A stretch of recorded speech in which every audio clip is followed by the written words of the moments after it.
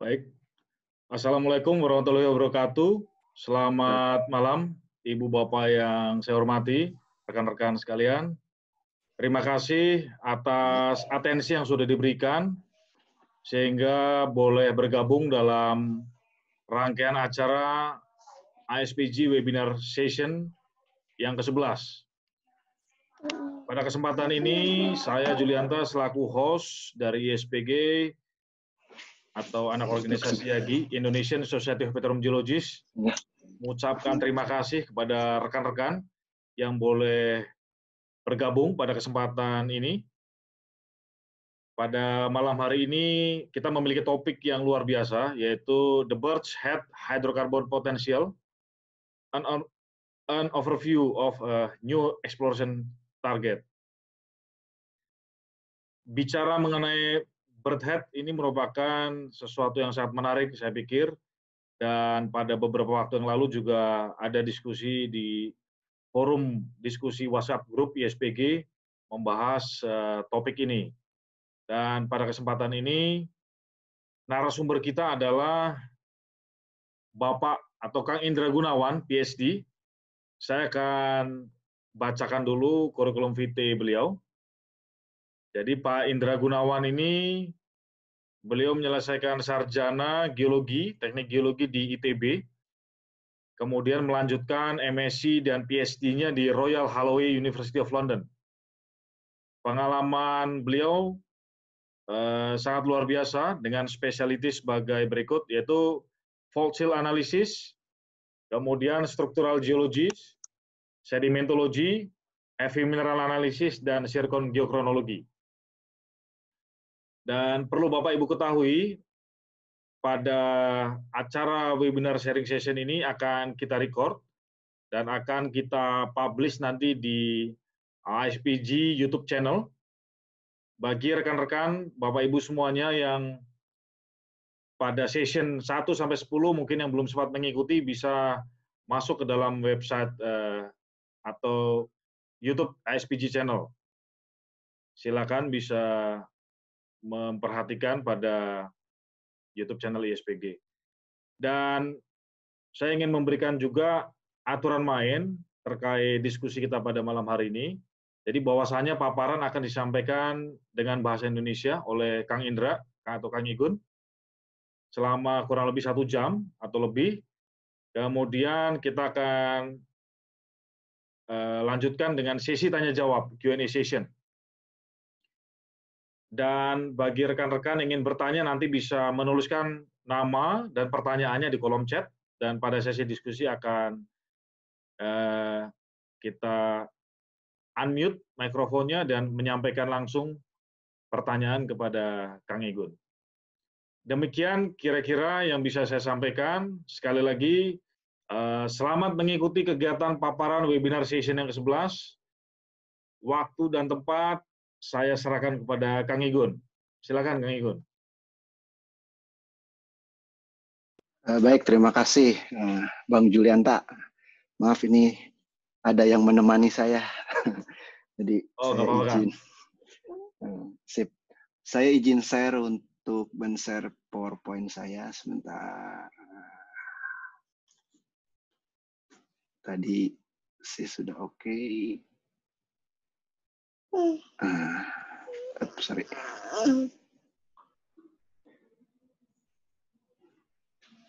Oke, okay, semoga sudah terlihat jelas uh, dari jelas presentasi. Oke, okay, baik. Uh, mungkin tanpa panjang lebar, terima kasih atas kesempatannya. Assalamualaikum warahmatullahi wabarakatuh.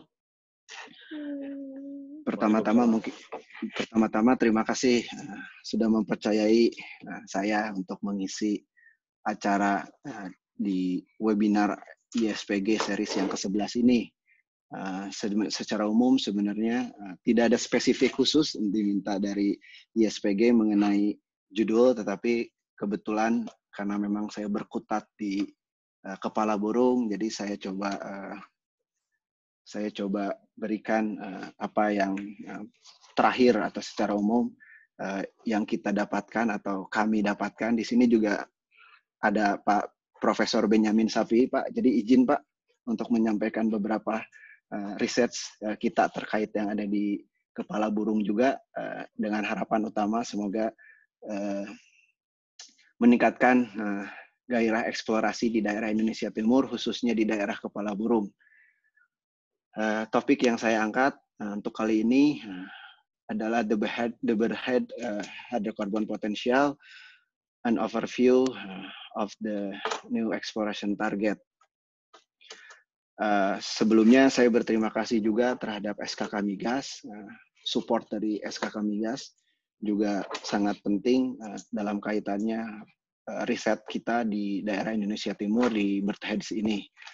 Sebagian uh, besar juga ini berkaitan dengan hasil kerjasama kita uh, antara SKK Migas dengan Geodynamic Research Group di Geologi ITB. Nah, untuk outline kali ini, eh, perkenankan saya membawakan presentasi ini dalam bahasa Indonesia. Kemudian semoga semua juga bisa melihat, tetapi slide ini dalam in English, jadi beberapa mungkin teman-teman yang uh, bukan native speaker Indonesia bisa semoga bisa terjelaskan dari slide tapi nanti saya coba akan menjawab in English apabila ada pertanyaan dari teman-teman uh, uh, selain uh, Indonesia. Oke, okay, outline kali ini saya akan coba secara umum membagi menjadi tiga uh, hal utama. Pertama, secara umum uh, kita mencoba atau melihat kembali uh, secara umum tektonik setting uh, petroleum system yang ada di, di kepala burung uh, di umur Mesozoik khususnya. Kemudian kita lihat new place dari Mesozoic sequence baik itu secara exploration concept dan saya berikan konklusi kira-kira future exploration target area di daerah kepala burung dan sekitarnya secara umum yang sedikit ke arah timur nantinya. Oke, okay, uh, eh, kita mengetahui secara umum uh, Eastern Indonesia salah satu daerah kompleks dunia ya. Kalau kita lihat, uh, kita punya uh, salah satu uh, daerah, bahkan beberapa mungkin peneliti melihat bahwa daerah Eastern Indonesia salah satu triple junction, subject to be discussed, tapi secara umum kita bisa lihat Eastern Indonesia region di sebelah utara kita punya Pacific uh, Sea Plate, kemudian di daerah berbatasan ke arah selatan kita punya Australian Continental kontinen, kemudian uh, bagian barat berkaitan dengan Eurasian Plate. Atau secara umum Robert bilang sebagian besar adalah dari Sundaland. Nah, kali uh, kemudian motion factor yang kita punya present day saat ini Eh, Pacific Sea Plate relatif terhadap Australia bergerak, ke arah barat, kemudian Australia sendiri bergerak ke arah utara as a whole, kemudian uh, di sisi bagian barat Eurasian relatif terhadap Australian kontinen bergerak, bergerak ke arah north ke arah southeast. Sehingga apa yang kita lihat present day tectonic setting di daerah ini cukuplah kompleks. Kalau kita lihat dari konvergen dari three major plate tersebut relat, uh, secara umum uh, bird heads memang sangatlah uh, berhubungan erat dengan tektonik evolusi dari Northern Australian margin. Kemudian mikrokontinen isu sendiri juga tidak kalah penting. Ada beberapa yang uh, menceritakan bahwa Berthed adalah salah satu sleeper atau salah satu mikrokontinen yang bergerak dari arah timur atau bergerak dari arah selatan. Tetapi ketika kita lihat secara umum uh, sedimen atau uh, secara umum sekuen yang nanti kita lihat di Bertheads mempunyai kemiripan apa yang kita lihat di uh, Northern Australia. Ini uh, saya ambil dari Pak Mino, Pak Sapi, secara umum uh, pada dasarnya uh, structural uh, setting yang kita lihat di kepala burung erat kaitannya dengan Sorong Fault uh, yang sangat sudah terkenal di utara Kemung, kemudian di arah selatan kita punya Misol Onin Kumawa kemudian di arah selatan uh, secara umum uh, saya salah satu yang mempercayai adanya Tarera Awiduna Fault. Kemudian di arah timur uh, terkenal dengan Lengguru Fault Belt. Kemudian di daerah Kepala Burung sendiri sudah terkenal, kita sangat mengenal adanya dua lapangan besar yang berhubungan dengan hidrokarbon, Salawati dan Bintuni. Sebenarnya ada satu lagi yang kita uh, secara umum bukan under explore, tetapi secara umum uh, masih menghadapi berbagai challenging ketika kita menemukan uh, dalam uh, eksplorasi dari hidrokarbon yaitu adalah Brau Basin. Ke utara kita punya Kemumhai, kemudian uh, secara umum di tektonik atau secara umum Eastern Indonesian Region sendiri uh, kita ciri, uh, secara umum dicirikan oleh uh, fault thrust belt, kemudian transform margin di utara, dan beberapa splay dari sorong tersebut berhubungan berkaitan erat dengan Halmahera Trench dan uh, pembentukan atau sliver-sliver dari dari yang biasa kita kenal adalah Banggai Sula uh, mikrokontinen di sebelah barat. Kemudian uh, awal cerita uh, salah satunya adalah uh, saya agak sedikit belakang awal cerita dulu kenapa saya ngambil bird heads atau Papua sebenarnya uh, berkaitan erat dengan pembimbing saya ketika dulu saya S1 beliau ada di uh, keahliannya dimulai di Grasberg di badan burung dan satu dan lain hal akhirnya saya tercemplung di Kemumhai ini. Tapi apa yang ingin saya ceritakan ini di sini sebenarnya secara umum ketika kita melihat bagian atau tectonic province lah secara umum di bagian Indonesia Timur atau di daerah uh, New, Pap New Guinea uh, sudah sangat terkenal di bagian utara kita mau mempunyai Melasional Arcterans, kemudian uh, Ophiolitic Belt, uh, Ophiolite and Metamorphic Belt di bagian tengah, kemudian kita punya Central Range, dengan sangat terkenal dengan dengan areanya Freeport, Grasberg dan Esberg. Kemudian di arah selatan kita mengenal Forland Basin. Tetapi pertanyaannya ketika waktu itu adalah apa yang sebenarnya terjadi di daerah kepala burung. Uh, waktu itu adalah apa? Uh, karena kalau kita lihat dari uh, Forland Basin, sebenarnya kita menemukan Forland Basin atau Trust Fault Belt itu dari Central Range berbelok ke arah Lengguru Fault Belt walaupun secara umum nanti ada sedikit perbedaan umur atau uh, perkembangannya tidak uh, uh, secara uh, secara perkembangan uh, bergerak dari timur ke arah barat secara umum. Nah, pertanyaan waktu itu adalah apakah Kemumhai itu forever high atau Kemumhai itu berkaitan erat dengan uh, Fortress Belt. Walaupun kalau kita lihat ternyata di di Kemumhai lebih uh, dicirikan oleh perkembangan adanya uh, Sorong fault zone. Tapi ini big picture yang kita lihat berbicara dengan uh, enigmatik atau berbicara dengan problematik yang kita hadapi di Bird's Head, uh, at least Pamino di 2009 pernah menceritakan tidak ada satu pun model yang fix menjelaskan atau secara umum yang uh, dengan uh, evidence-nya masing-masing, keempat model ini mempunyai explanation atau mempunyai alasan tertentu kenapa model tersebut uh, ada. At least kalau kita lihat secara Mesozoik, sebenarnya ada satu konsensus adalah uh, adanya uh, oceanic affinity yang berada di utara, kemudian pada akhirnya kita punya kontinental delaminasi pada Eh, pada sejarahnya. Tet uh, jadi kalau kita lihat dari beberapa model, hampir untuk kepala burung, uh, untuk badan burung mempunyai suatu kesamaan, tetapi untuk kepala burung at least ada lima kalau kita lihat di sini. Apakah itu translation uh, model? Satu yang bergerak dari selatan ke utara. Yang kedua apakah ia adalah bergerak dari utara ke arah selatan atau rotational model? Yang ini adalah clockwise. Yang satu lagi adalah counterclockwise.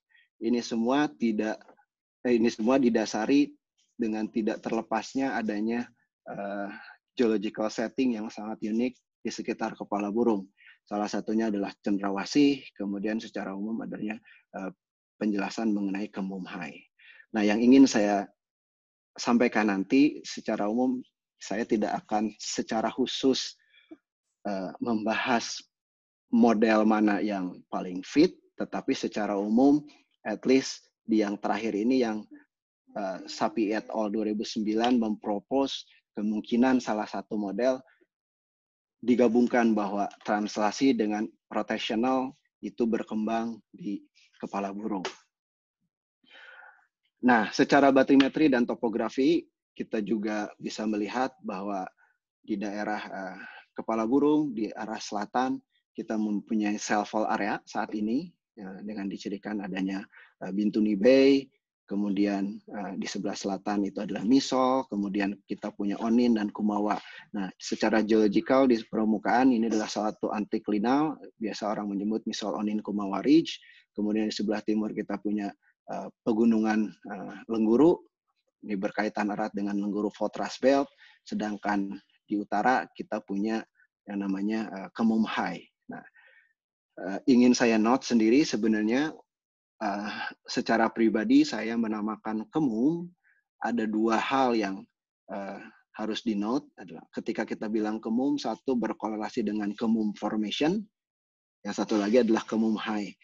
Jadi uh, saya mencoba uh, sedikit uh, memisahkan saya tidak hanya berbicara kemum saja jadi ketika saya bicara kemum high berarti berasosiasi dengan tinggian kemum saat ini. Ketika saya bilang kemum formation adalah ber, berkaitan erat dengan sekuen Paleozoik yang berumur Silur to Devon. Secara umum seperti uh, berikut, kita lihat di uh, kemum formasi sendiri uh, dicirikan oleh uh, nanti kita lihat di regional stratigraphy, tapi secara umum di daerah kemum high dicirikan oleh adanya low grade metamorphism bahkan terakhir kita lihat ke sana tidak hanya low grade tetapi sampai ke medium grade metamorphism yang unik lagi satu lagi di sini adanya Wandama Peninsula. Nah, kalau kita lihat secara morfologikal Wandama Peninsula di sini uh, mirip geometrinya seperti Fortress Bell yang kita lihat di Lengguru, tetapi by lithology somehow jauh berbeda. Kita lihat di core-nya Wandama Peninsula kita mempunyai migmatit dan uh, secara umum uh, derajat metamorfism itu berubah ke arah barat dan timurnya menjadi low grade. Nah, dan salah satu subjek uh, di 2019 Lloyd et al. Uh, uh, men, uh, sebagai constraint adalah bahwa uh, event atau tektonik event yang kita lihat di sini berumur berkaitan dengan Wondama ya, tidak lebih uh, tua yang terakhir at least yang kita lihat tidak lebih tua sekitar 3 3 sampai 5 million year. Eh, secara umum rata-rata sekitar uh, hasil tersebut dari uh, apatite vision track dan uh, zircon geochronology. Nah, kita mempostulasikan kemungkinan the, the latest Cenozoic event yang ada di sini berkaitan erat dengan Lengguru Fault Belt. Di satu sisi beberapa uh, sampel juga coba kita lihat mengkonstrain uh, terjadi uh, pembentukan misal onin Kumawa Ridge, uh, tidak saya fokuskan untuk di sini karena fokus kita adalah uh, berkaitan dengan new exploration target. Tetapi saya note di sini karena salah satunya uh, salah satu target kita berhubungan dengan pengangkatan misal onin kumawa. Nah, pengangkatan misal onin kumawa apa sebelumnya yang sempat kita uh, atau secara umum uh, banyak paper bilang berkaitan erat dengan uh, pengangkatan lengguru fault belt atau event lengguru fault belt sendiri di Pleisen, tapi dari beberapa sampel uh, kita menjelaskan sebelum terjadinya pengangkatan atau yang terakhir di Pliocene, uh, kita mendapatkan bukti bahwa misol itu sendiri terangkat uh, sempat terangkat di umur Paleocene. Itu note kita, kemudian secara sedangkan ketika kita lihat regional gravity anomali, kita bisa lihat daerah anomali yang ada di uh, Kemum High sini saat ini, ini present day, memang dicirikan oleh adanya uh, sangat sedikit kita melihat adanya uh, sedimentary section, sedimentary sequence, tapi secara umum uh, adalah low grade metamorphic rocks. Kemudian kalau kita lihat ke daerah timur dari kepala burung, kita melihat adanya uh, fault thrust belt dari Lengguru dan bagian yang kita note di sini yang cukup high itu adalah uh, bagian dari Bintuni Basin. Sedangkan kalau kita lihat di Salawati cukup unik. Beberapa kalau kita lihat cekungan Salawati sendiri tidak se hmm, tidak sekonstan apa sekontras apa yang kita lihat seperti di Bintuni. Jadi kalau kita lihat, uh, tetapi satu lain hal mungkin salah satunya adalah uh, penjelasannya kenapa tidak uh, begitu. Saya bukan orang geofisik, tapi secara umum kita bisa jelaskan kenapa tidak tidak segitu kontras apa yang kita lihat di Bintuni karena di utara di utara kepala burung itu berasosiasi dengan uh, oceanic affinity sehingga kontras anomali dari gravity kemungkinan besar berhubungan dengan adanya oceanic activity di sebelah utara. Sehingga semua nilainya uh, sedikit terupgrade. Nah, satu uh, yang saya notice ini nanti karena berhubungan sebenarnya apa yang kita lihat adalah apakah extension atau secara umum uh, Mesozoic uh, kalau kita lihat di di Bintuni Bay atau di Bintuni Basin secara umum uh, kita sudah mengenal uh, Mesozoic play. Batuan Mesozoic pun sudah ter, ter, ter, uh, tertembus. Pertanyaannya, apakah kita punya barang seperti ini nantinya di sekitar Salawati itu salah satu uh, raise a question uh, ke depannya.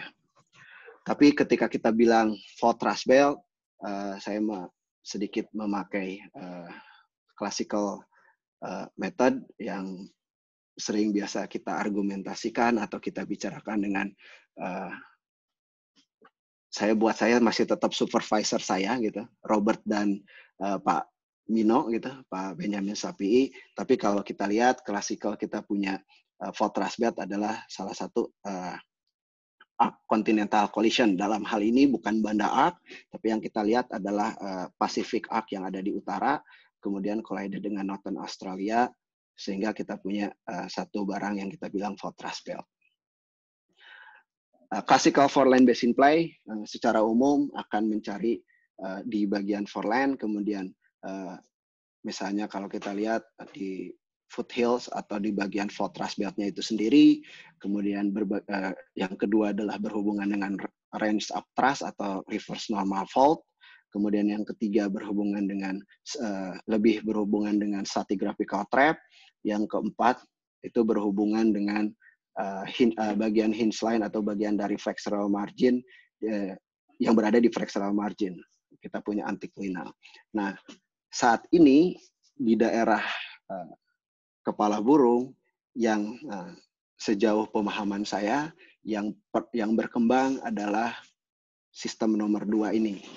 Nah pertanyaannya apakah sistem nomor satu, nomor tiga atau bahkan nomor empat kita bisa temukan atau tidak uh, masih salah satu subject to be discussed or subject to be found, subject to explore Ah, sebenarnya beberapa sudah mengeksplor, tapi secara umum kita belum menemukan hasil yang uh, cukup mengembirakan.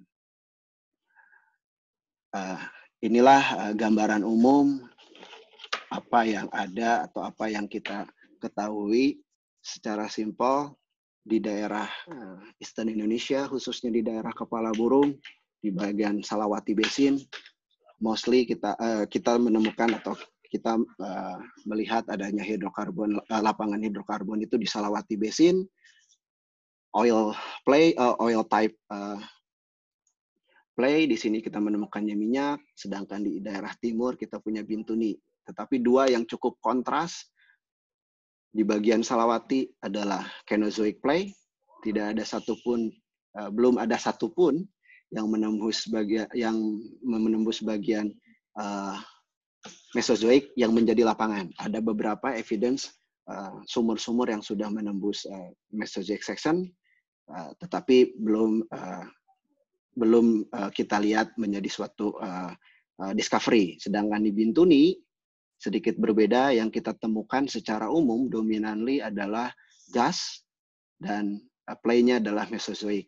Walaupun nanti kita bisa lihat di sebelah utara ini ada beberapa lapangan-lapangan uh, kecil yang saya temukan waktu itu uh, by coincidence. Jadi ada beberapa sumur-sumur tua uh, di daerah uh, Mogoy itu uh, menghasilkan atau at least pada tahun itu 2015-an uh, menghasilkan minyak. Nah, yang tapi tanpa ada tanpa ada informasi lain secara umum saya belum tahu apakah itu dari uh, atau memang dari bisa berasal dari Mesozoik. Tetapi secara umum semua banyak paper menjelaskan mempunyai konsensus bahwa Bintuni Basin adalah gas uh, prolific gas basin. Oke, okay, uh, kemudian uh, up to this time penambahan selain Salawati Field, Bintuni Field juga di sini uh, di 2000 di 2010 awal gitu ke belasan uh, uh, SKK menstate bahwa di sini ada uh, discovery asap. Semoga uh, segera menjadi lapangan juga tentunya. Tetapi kalau kita lihat uh, di ke arah Onin sebelah selatannya ada sumur dua yang mencoba mengeksplor uh, lengkuas dan andalan. Nah kalau kita lihat titik-titik uh, ini sebenarnya adalah sebaran dari sumur. Dicoba sangat kita lihat sangatlah jelas di daerah Salawati, di Selestret dan teman-teman Kasim dan yang lain-lain, kemudian di Kelamono, kemudian di daerah Bintuni dan ada beberapa di daerah utara. Uh, sayangnya di daerah utara di daerah se, uh, di daerah Kemundan, kalau kita mengenal daerah sana biasanya dibilang Kemundan atau Ayamaru, uh, sangat jarang kita menemukan sumur yang di, yang menembus daerah sana. Jadi secara umum beberapa exploration wells adalah di deep water, reservoir, uh, kemungkinan mempunyai history deep burials, dan seperti yang sudah saya sebutkan sebelumnya, Salawati itu berasosiasi dengan Kenozoic Play dan Bintuni berasosiasi dengan Mesozoic Play. Kemudian uh, apa yang kita bisa simpulkan atau apa yang bisa kita lihat dari overview sebelum sebelumnya. Jadi secara umum Eastern Indonesia sangatlah kompleks baik tektonically atau structurally. Uh, salah satu uh, atau salah satu kumpulan dari sleeper-sleeper continental blocks, arc fragments, kemudian adanya uh, bahkan ada uh, trap oceanic basin di daerah uh, uh, Nugini di daerah uh, Badan Burung. Kemudian uh, many potential basin recognized, uh, kemungkinan sangat kecil, geologically poorly understood, kemungkinan juga beberapa berhubungan dengan deep water. Beberapa basin atau uh, many basin, uh, contohnya kalau kita lihat di Berau tadi belum banyak yang di drill karena ada beberapa uh, challenging challenging mungkin dulu tidak belum melanjutkan uh, eksplorasinya di daerah sana satu dan lain hal kemudian uh, satu dan lain hal large cover area numerical uh, kemudian banyak uh, GNG informasi dengan uh, wide dengan spasi data yang masihlah luas khususnya di daerah onshore. Origin bird head sendiri banyak tadi kalau lihat dari model banyak uh, propose model tetapi belum ada uh, kemudah-mudahan suatu saat ke depan nanti kita akan sudah mulai menjurus ke model yang mana terlebih lagi kalau kita adding cendrawasih basin atau cendrawasih bay uh, yang secara geological uh, kita belum jelas dan uh, belum ada sumur yang menembus secara umum keseluruhan. Dan kalau kita lihat di beberapa paper, cendrawasih B, cendrawasih B sendiri sangatlah tebal sequence dari pliosennya. Nah, oke, okay, kemudian coba kita uh, sedikit berlayar ke di pandemi ini mudah-mudahan cepat uh, berlalu. Jadi mudah-mudahan uh, saya bisa berlayar kembali ke daerah Raja Ampat. Selain dari uh, Raja Ampatnya, mungkin ada beberapa PR yang masih belum saya selesaikan dengan Lloyd dan Robert.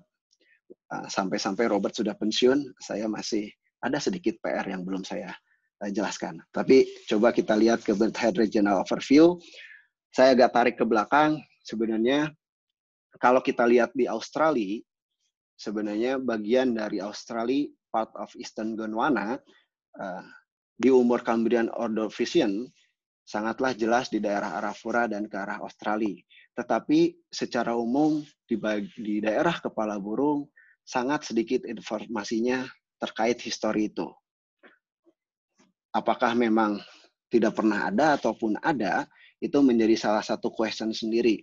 Uh, Northern Australia, Cretan gitu, secara umum ketika umur ini uh, diinformasikan uh, ditutupi adanya lapisan tipis dari suksesi rich carbonat. Kemudian Bailey et al. 94 uh,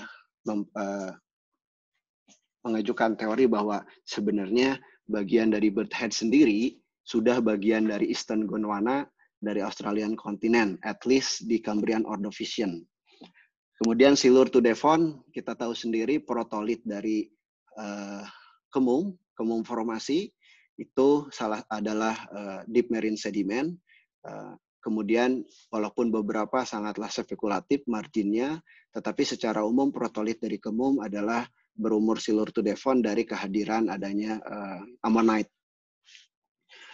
Karbon to early Permian, uh, beberapa kita bisa melihat Carboniferous dan early Permian uh, igneous rock yang berada yang berada di kepala burung secara umum, uh, tetapi uh, banyak uh, penulis uh, dari Australia, Bailey, Charlton, sama Metcalf bahwa daerah kepala burung sendiri Eh, ketika during Carboniferous to early Permian adalah bagian dari passive margin.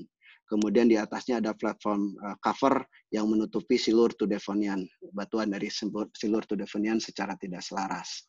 Nah, kemudian late Permian, uh, Charlton memang meng, uh, mempropos di late Permian adanya passive margin tetapi dari recent finding yang kita temukan di daerah kepala burung, kita mempunyai adanya uh, active margin, at least di bird heads dan di, dan di New Guinea, uh, bahwa mulai adanya uh, aktif, aktivitas vulkanisme. Di Eastern Australia sendiri sudah terkenal di Eastern uh, di New England uh, New England Orogen yang berumur Permotrias secara umum di sini.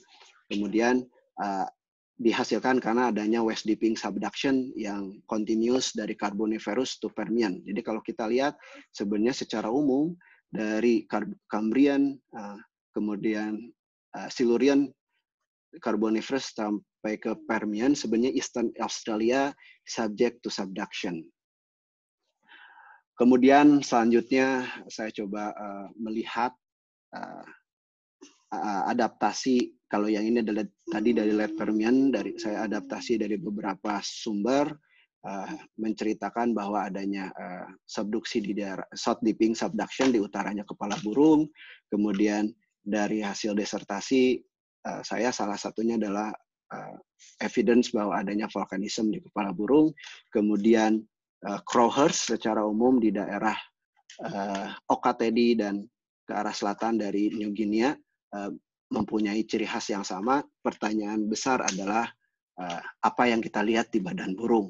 Nah, uh, sayangnya selab, ke, ketika itu agak susah kita mempunyai akses ke ke ke badan burung. Tapi selanjutnya kalau kita lihat dari konstruksi robot, letraisic, kemudian aktivitas vulkanisme itu berhenti. Uh, ada pertanyaan kenapa berhenti adalah salah satu subjek to be discussed juga tetapi secara umum kalau kita lihat uh, dari late Jurassic nanti kita mengenal sampai ke uh, Miocene at least uh, kita mempunyai uh, passive margin sequence bahkan kalau di Cenozoic dicirikan dengan uh, Papua Nugini uh, karbonat uh, sistem atau sequence. Kemudian uh, ini sebenarnya hanya menjelaskan bahwa riset geokronologi juga memperlihatkan adanya volcanic arc along eastern to northern Australia. Bahkan beberapa sampel dari uh, kolega saya waktu itu uh, Duncan yang dilihat di Southwest Borneo dan uh, Lorin ada beberapa evidence evidence adanya uh, zircon. Kemudian kalau kita lihat saya bukan bermaksud untuk Eh, mempersulit atau membingungkan, tetapi faktanya apa yang kita lihat setidaknya ada empat kubu atau secara umum uh, empat model yang menceritakan antara late Trias sampai ke mid to late Cretaceous. Uh, tapi yang saya propose secara umum yang kita lihat bahwa di kepala burung sendiri sampai ke late Cretaceous kita mempunyai sekuen yang pasif margin. Uh, ini kalau kita lihat uh, uh, salah, uh, salah satu studi dengan SKK dan uh, kita juga salah satu uh, uh, saya berkesempatan uh, bergabung dengan grup Pak Mino gitu. Waktu itu kita sering uh, mempelajari atau sering melihat daerah ini tapi secara umum dari beberapa cross regional cross section yang kita lihat bahwa kita lihat sangat jelas di daerah utara kita punya oceanic affinity Kemudian di daerah Kemung High, eh, tinggian Kemung saat ini dicirikan oleh Permotriacic granit, kemudian sedimentary cover uh, during Mesozoic to Mesozoic, uh, di, to Kenozoic. Tetapi kalau kita lihat secara umum Bintuni Basin sendiri uh, secara uh, uh, eventnya atau secara uh, timingnya adalah merupakan Kenozoic Basin. Jadi kalau kita melihat kembali ke belakang adalah apakah Bintuni Basin dan Salawati itu sudah ada dari Mesozoik. Dari penjelasan sebelumnya, semoga eh, teman-teman menangkap bahwa sebenarnya ketika kita bilang Bintuni Basin dan Salawati Basin itu belum ada during Mesozoik. Uh, Bintuni Basin sendiri baru ada uh, di latest part dari uh, evolusi yang kita lihat di kepala burung. Nah, sehingga erat kaitannya seperti apakah uh, knowledge kita atau seperti apakah pemahaman kita di kepala burung secara umum. Jadi kalau kita lihat dari beberapa seismic line, uh, regional seismic line, jadi kalau kita lihat, saya ingin hanya hanya ingin menunjukkan bahwa uh, Mesozoic sequence itu sebenarnya dengan satu dan lain hal masih tersebar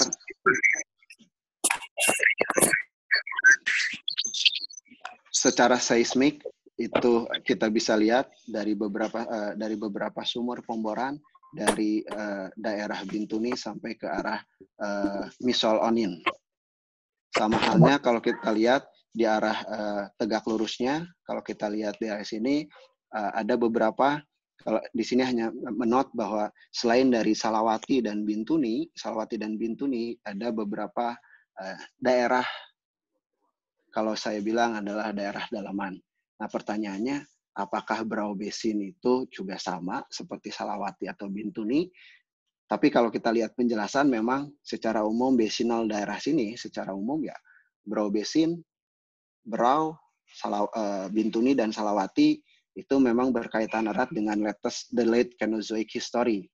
Nah, jadi karena kalau kita lihat dari sini semua sekuennya kita masih punya dari Mesozoic dan kita bisa ikutin secara uh, umum dari uh, seismic section yang dikontrol oleh sumur.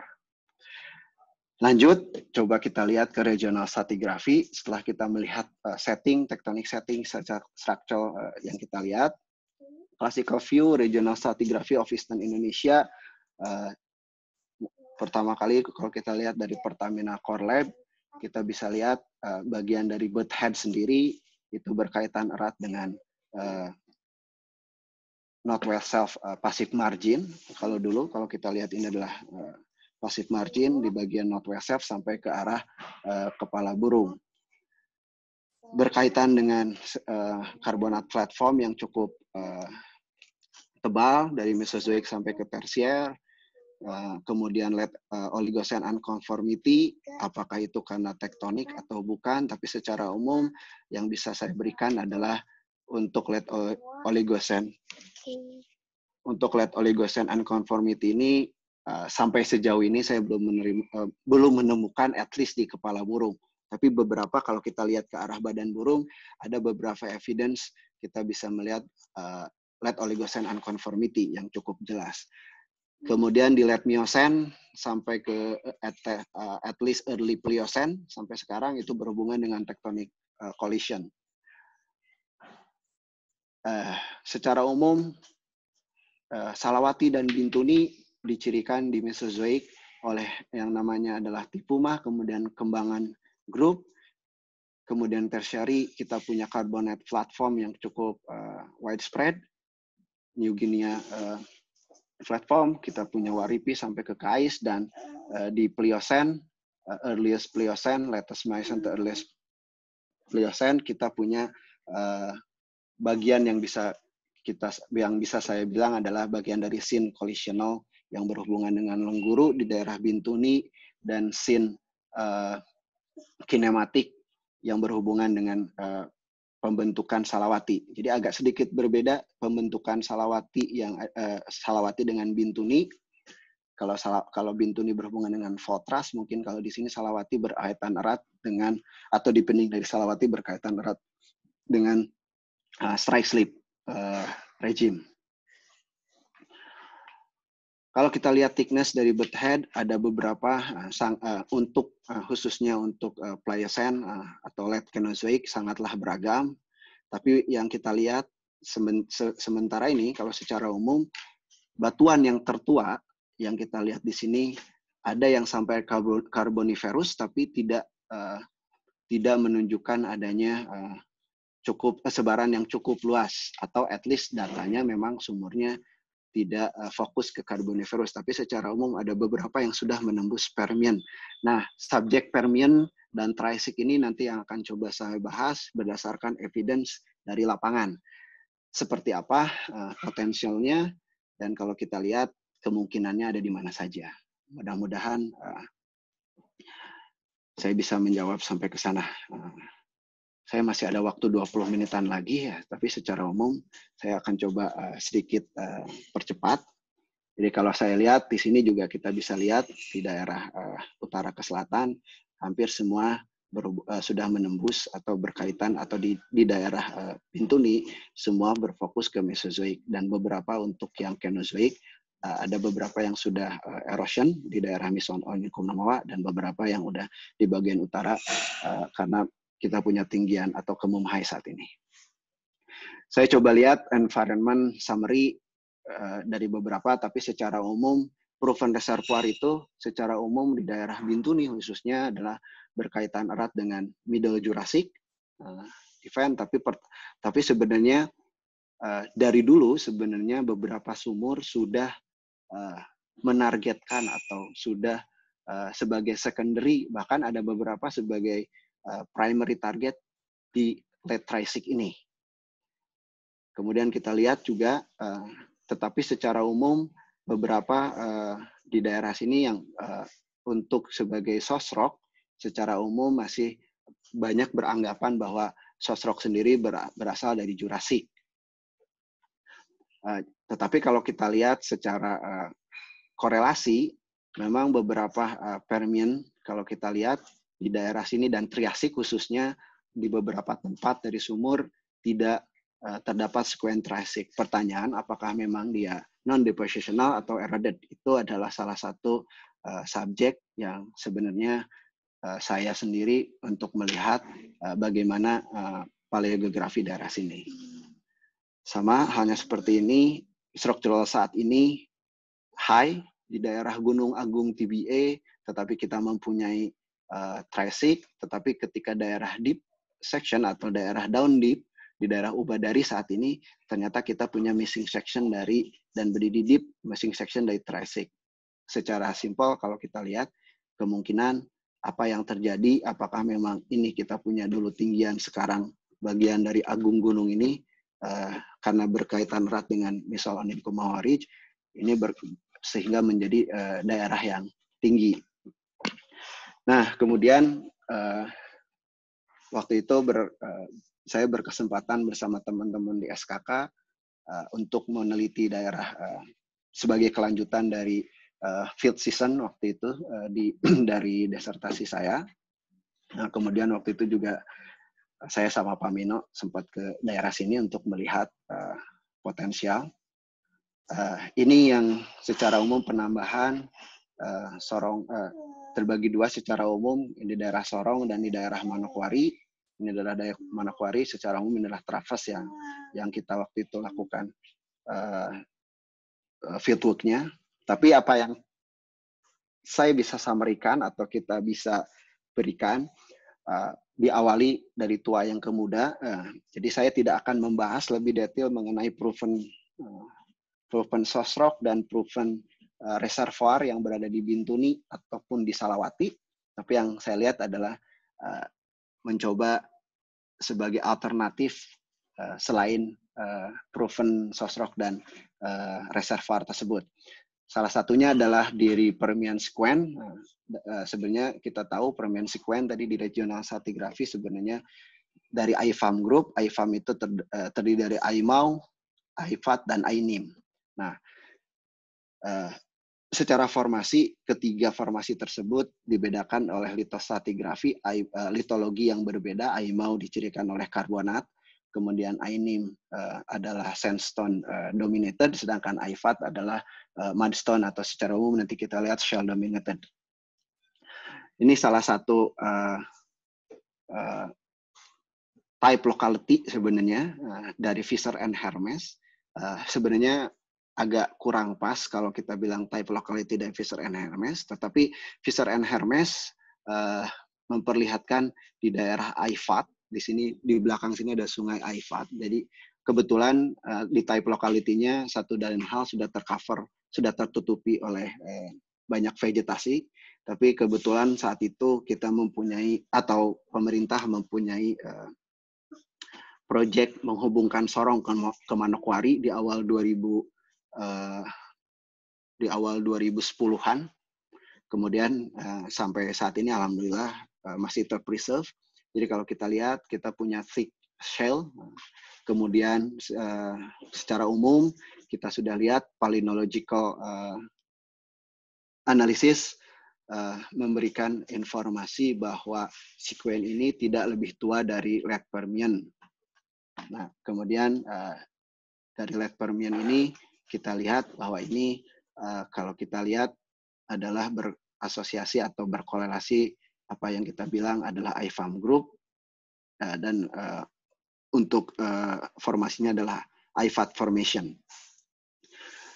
Uh, dari geochemical result, saya simple, uh, saya berikan summary aja, cukup simpel. Kita mempunyai TOC yang cukup uh, yang bervariasi dari 0,7 sampai 16 persen dengan uh, at least surface uh, sample uh, yang kita ambil dari survei sampel dan memberikan T-max sekitar 40, 441 sampai 463 eh, dengan RO dari range 0,5 sampai 1. Kemudian sosroknya eh, berupa tipe 2 dan tipe 3. Jadi kita bisa lihat dari sini beberapa sampel yang kita lihat uh, merupakan fair to good sample. Kemudian uh, jenis uh, uh, uh, kerogen typingnya ini ber, sosroknya berupa tipe 2 dan tipe 3. Kemudian uh, sedikit ke lebih muda, kalau kita lihat uh, ini perubahan dari IFAT di sebelah uh, uh, down section ke arah upper section kita punya lapisan batu bara yang cukup uh, tegak di sini. Kemudian dari sini akan berubah ke sand dominated sequence. Nah, sand dominated sequence di sini dicirikan oleh adanya interbedded sandstone dan claystone, dominasi by sandstone dan beberapa co-layer in some places. Uh, palynology analysis uh, memberikan hal yang mirip dengan uh, IFAT, tetapi dari uh, posisi stratigrafi kita bisa melihat perbedaan antara INIM dan IFAT tersebut. Ini uh, salah satu section yang lain di sebelah barat dari Kemumhai uh, atau secara umum sebelah timur dari Kelam, dari lapangan Klamono. Uh, Ainim di sini uh, sangat dicirikan uh, dari interbedded litharnic to lithic sandstone. Dari visible, at least visible porosity yang kita lihat dari thin section memperlihatkan uh, di, yang sampel di outcrop antara 6 sampai 18 persen dan ada beberapa kita uh, sempat melakukan uh, analisis di, uh, uh, untuk permeability dan porosity uh, cukup kecil, tidak terlalu besar, sekitar 10 uh, milidarsi. Tapi secara umum kalau kita lihat secara keseluruhan di daerah sini uh, mempunyai uh, sandstone uh, yang cukup prominence lah, uh, yang patut untuk kita lihat, uh, worth untuk kita lihat gimana penyebarannya. Nah, yang cukup unik di sini kalau kita lihat semua sandstone atau semua Mesozoic section yang berada di sebelah barat ke, uh, Kemung itu mempunyai dipping ke arah southwest. Nah, pertanyaannya adalah kalau kita punya lapangan Kelamono di sekitar sebelah barat, uh, apakah yang di cover oleh kalau kita lihat di sini yang berwarna abu-abu di sini eh, coklat dan ah, sorry coklat dan coklat muda di sini bukan abu-abu itu adalah uh, dari platform uh, karbonat uh, dari kais dan ada beberapa di sini kais uh, berada di bawah yang uh, yang coklat muda ini adalah kelas safet. Jadi di sini kita punya kais dan pertanyaannya apakah kais ini mengcover apa yang kita lihat di permukaan sebagai Permian uh, sequence Nah, sayangnya memang seismic section tidak ada yang sampai sini. Uh, mungkin uh, teman-teman Pertamina lah yang lebih tahu di daerah sini tentang coverage area uh, di Salawati. At least itu yang bisa saya uh, share, uh, share sedikit di daerah uh, barat dari Kemumhai. Kemudian kalau kita lihat dari going down to Wales atau lihat beberapa ke Wales, uh, uh, kalau kita lihat sebagian besar kita li bisa lihat juga sebenarnya dari laporan Core Lab, tapi coba kita revisit ulang uh, di beberapa uh, sumur yang sudah menembus uh, at least uh, Permian berdasarkan report, makanya saya tanda tanya apakah ini late, early, or to middle Permian, tapi kalau kita lihat dari posisi stratigraphical ini kemungkinan berhubungan dengan left Permian. Jadi dari sini kita punya terrestrial uh, sequence secara umum simpelnya, kemudian kita punya transisi dan ke arah selatan lagi kita punya shallow marine. Kemudian ada uh, dengan evidence adanya uh, Permian sequence yang kita temukan di outcrop uh, menambah penyebaran kita. Nah sayangnya di daerah sini selain outcrop kita tidak punya lagi sumur Eh, sebagai informasi seperti apa di bawah uh, kedalaman. Ini contohnya kalau kita lihat beberapa uh, terestrial uh, Permian di Ubadari, ini adalah target kalau kita lihat seperti apa di Shallow Marine uh, sequence di TBF.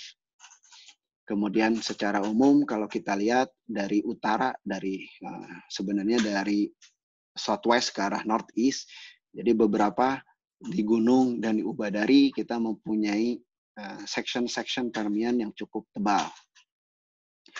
Itu Permian, kita coba langsung ke arah Triassic sebagai potensial reservoir, walaupun sebenarnya di lapangan ada beberapa uh, sekuen yang mempunyai shale, tetapi uh, kita atau saya tidak melihat sebagai potensial source rock karena setelah setelah kita lihat uh, at least dari sampel yang kita lihat di lapangan tidak memberikan uh, geokimia yang cukup bagus. Tapi kalau kita lihat di uh, ini di daerah Maui atau ini adalah jalan dari so, dari Manokwari ke arah Bintuni, dari pasti akan melewat ke arah sini setelah Ransiki.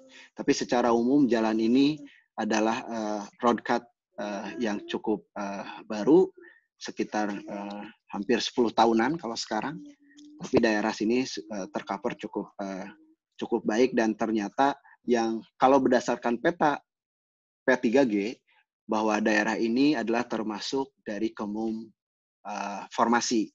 Tetapi ketika kita lihat uh, waktu itu juga teman-teman sebenarnya uh, saya diberi informasi dan dibantu oleh teman-teman BP bahwa ketika melihat di sini ada uh, evidence bahwa ini masihlah sedimentary rock bukanlah uh, kemum uh, formasi yang kita kenal sebagai low grade metamorphic rocks.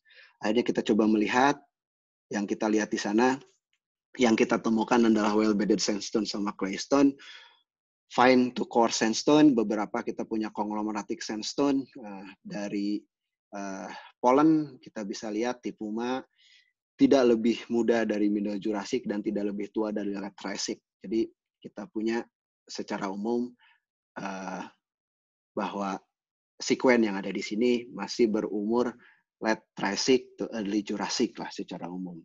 Dari beberapa uh, sedimentary uh, evidence, sedimentary structures, stacking uh, uh, channel yang kita bisa lihat di sini mencirikan daerah daerah uh, sekuen dari sini merupakan uh, fluvial environment.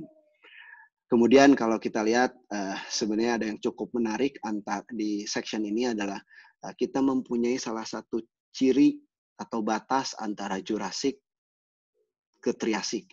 Jadi kalau kita lihat di bagian atas, maaf, di bagian sebelah uh, atas section dari sini atau bagian dari uh, upper uh, section dicirikan oleh uh, sandstone uh, yang kalau kita lihat banyak streak atau secara umum carbon streak yang kita lihat di sini, sedangkan bagian bawahnya di daerah sini uh, yang A di sini sampai ke arah bawah ini dicirikan oleh red bed sandstone. Nah, kalau saya kembali ke Fisher and Hermes dulu, salah satu penciri atau di Australia sendiri salah satu penciri Triassic sandstone adalah red bed sandstone. Jadi kita bisa lihat dari maaf saya kembali di daerah sini ini adalah uh, salah satu uh, kontak antara red bed sandstone dengan Jurassic sand.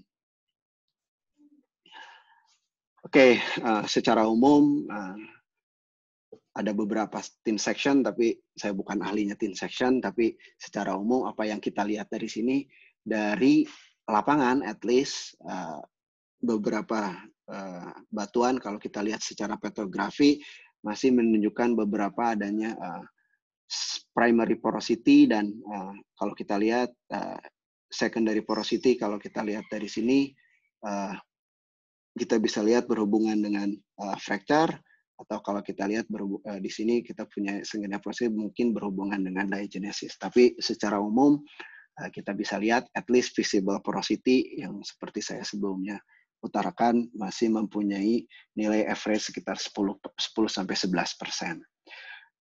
Uh, berbeda dengan Permian, kalau kita lihat di well Triassic secara umum, uh, at least dari well uh, well report yang ada, ada beberapa sumur ternyata non depositional atau eroded di beberapa section.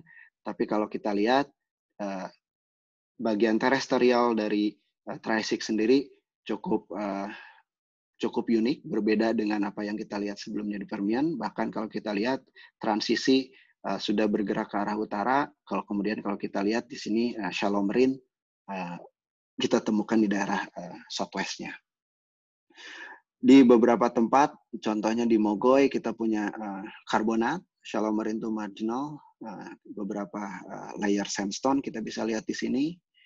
Kemudian uh, ini dari Core Lab Kamal, Kamal Kawala juga kita bisa lihat reser walaupun di section Kamal Kawala di state bahwa uh, secara umum reservoir quality-nya tidak bagus, average porosity sekitar 5, tapi secara umum kita di daerah Kamakala di sini cukup selatan masih beberapa menunjukkan sebagai fluvial environment. Kalau kita lihat uh, cross section sebenarnya kalau saya di flattening di top uh, early Jurassic, jadi Triassic sendiri ternyata kalau kita lihat di beberapa tempat ada local high, contohnya Ubadari Bedididip, tapi ini adalah nanti uh, subject to be discussed. Kemudian uh, di CS dan Siganoi, jadi kalau kita lihat dari East West, ternyata uh, pictures kita untuk melihat Triasik uh, sedikit berbeda dengan Permian. Kita ternyata beberapa Triasik dikontrol oleh tinggian-tinggian lokal yang berada di umur tersebut. Oke, okay, beberapa section kalau kita lihat yang uh, uh, yang menunjukkan sumur yang menunjukkan uh, beberapa uh, evidence. Uh, kalau kita lihat di Tarof, Tarof uh, sendiri itu berkaitan dengan forward anti clean, tetapi abandon. Tapi yang perlu kita catat di sini di Tipuma atau di uh, uh, kita mempunyai gas show. Kemudian di Daram sendiri kita punya gas uh, kalau kita ke arah uh, selatan ke arah baratnya dari Bintuni di Daram sendiri kita punya uh, Daram Selatan secara umum dan menunjukkan adanya gas show di Triassic interval. Uh, di Agung uh, kita punya secara umum yang ber, uh, berdekatan dengan uh, uh, Daram Tapi secara umum kalau kita lihat dari porosity atau da, maaf dari uh, kandungan uh, sen cukup tebal sen yang kita bisa lihat di sini ada beberapa trisik juga berkorelasi dengan uh, karbonat uh, karbonat deposition. Uh,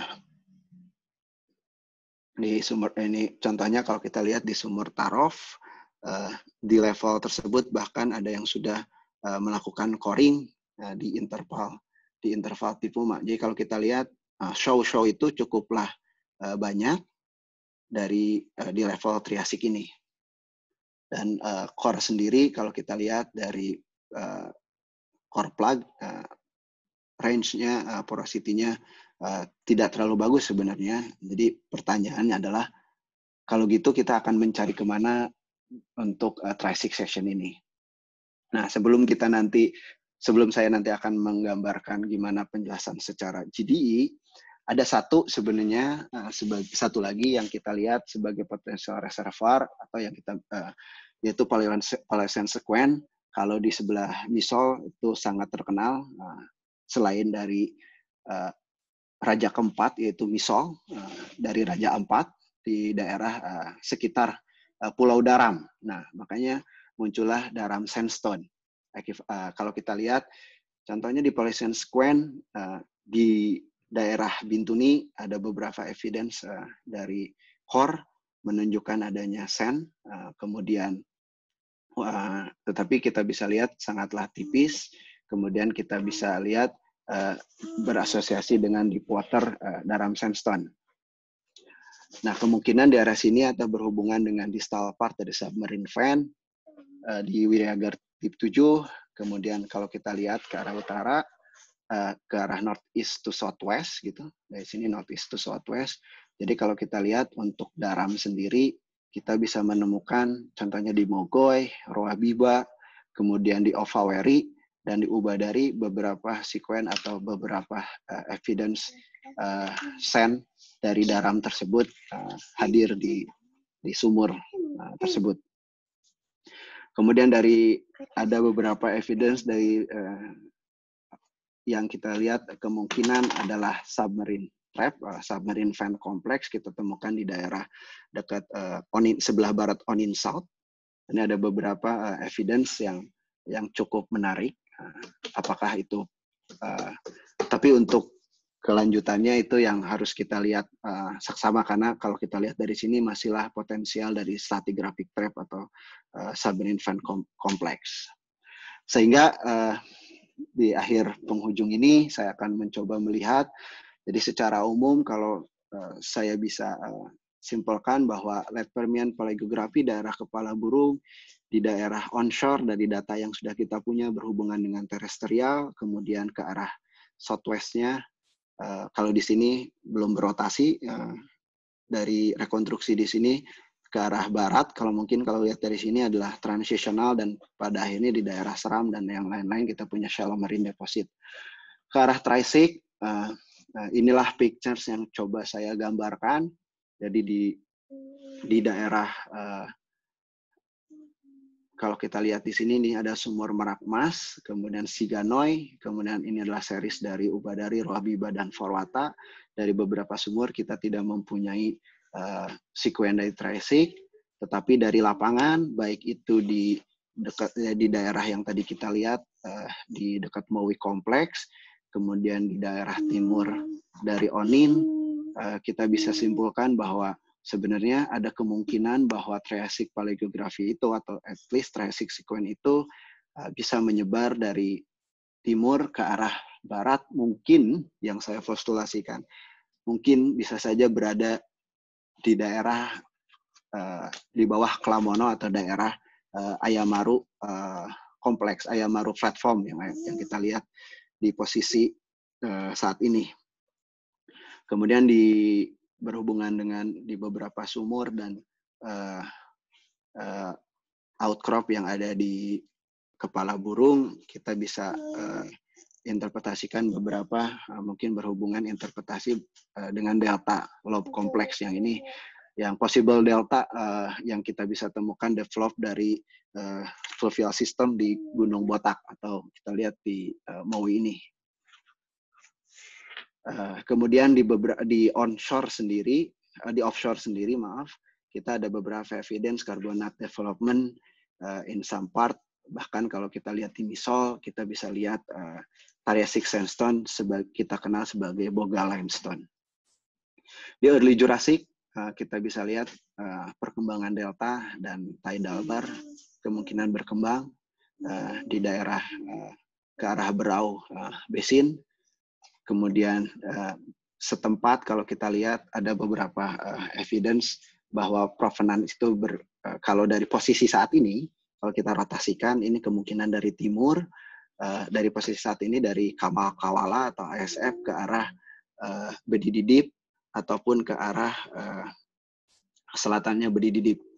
Kemudian kalau kita lihat selanjutnya ke Middle Jurassic, marine incursion sudah cukup dominan Kemudian kalau kita lihat apa yang kita kenal, banyakkan adalah Middle Jurassic. Uh, sekuennya kalau kita lihat adalah onlapping terhadap suatu tinggian di utara.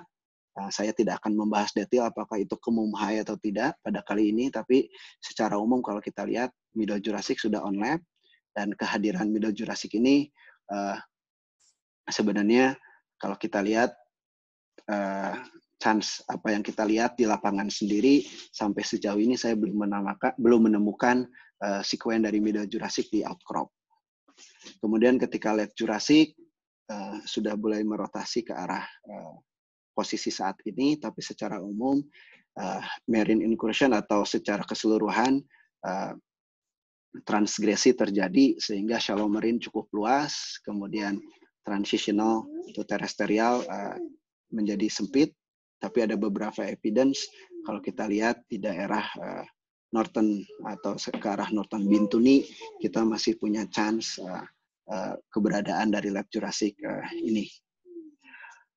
Dari ini kalau kita lihat secara umum dari beberapa sumur yang kita pakai kita bisa melihat untuk umur Triasik secara umum net reservoir itu cukup bervariasi, yang paling tebal sekitar 50 meter dengan average permeability uh, ada yang mencapai sedikit 50 milidarsi dengan porosity uh, rata-rata sekitar 1 per, uh, 10 persen. At least itu yang kita lihat dari uh, sumur.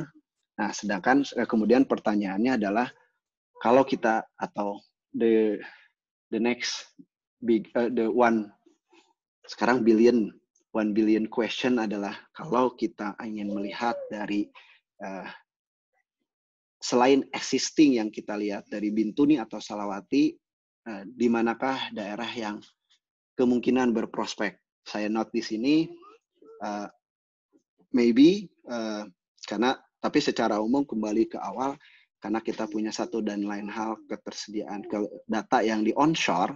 Uh, jadi secara umum masih saya belum berani mengkategorikan sebagai medium risk. Tapi cukup patut untuk kita lihat atau untuk kita explore. Pertama itu adalah di daerah North Bintuni. Nah, di North Bintuni ini play yang uh, kita atau uh, uh, kita uh, uh, ajukan adalah uh, Triassic sandstone sebagai reservoir, kemudian soft rock seperti sebelumnya yang saya lihat itu adalah uh, Fermian iPad formation, kemungkinan fluvial to transition uh, Triassic uh, sandstone. Sealnya adalah dari mudstone within Tifuma itu sendiri atau di beberapa tempat sebenarnya kita bisa lihat uh, di atas uh, uh, Jurassic kita punya Cretaceous uh, seal. Kemudian trapnya beberapa ada kita lihat fairway deep anticline tapi masalah utama yang kita lihat adalah charging. Apakah kita bisa uh, melihat karena sementara ini yang yang develop di daerah Bintuni adalah uh, dari deeper section atau dari bagian uh, sebelah barat Lengguru Fault Belt. Uh, apakah main isunya adalah apakah sampai ke charging ke arah North Bintuni. Yang kedua, uh, mungkin kalau secara umum uh, onin, uh, uh, yang kedua mungkin kalau saya secara umum adalah ke daerah uh, sebelah timur dari atau kita bilang Paleozoic secara umum Paleozoic Mesozoic di Salawati area. Not necessarily yang harus di daerah uh, onshore, tetapi secara umum uh, mungkin fokusnya dulu uh, daerah sini adalah lebih fokus ke Kenozoic sehingga ada beberapa kita overlook untuk bagian dari Mesozoic section di daerah Salawati ini. Sosroknya kita bisa lihat di sebelah barat dari Kemumhai kita punya Permian Aifat, kemudian reservoirnya kita punya Fluvial Triassic, uh, kemudian di sebelah selatannya kita mempunyai Early to Middle Jurassic yang on lap ke arah uh, tinggian di utara, Kemudian sealnya uh, yang kita punya adalah overlying dari Cretaceous uh, upper kembelangan uh, mudstone. Trapnya secara umum uh, similar uh, ke Bintuni trapping style berhubungan dengan four way uh, atau secara umum di beberapa di beberapa tempat kita menemukan adanya three way deep. Uh, pertanyaannya adalah uh, basin yang kita lihat di sini uh, kita less known uh, dibandingkan apa yang kita lihat di Bintuni. Uh, sekarang adalah chargingnya, apakah kita bisa anggap adalah dari bagian uh, Salawati dan ada risknya adalah social problem tentunya. Nah kemudian sedangkan di beberapa tempat uh, secara keseluruhan kalau kita lihat adalah Paleocene Daram Sandstone. Dari Paleocene Daram Sandstone kemungkinan kita bisa melihat sosroknya itu kemungkinan dari Jurassic Lower Kembangan yang sudah proven di daerah Bintuni ataupun Permian Aifat.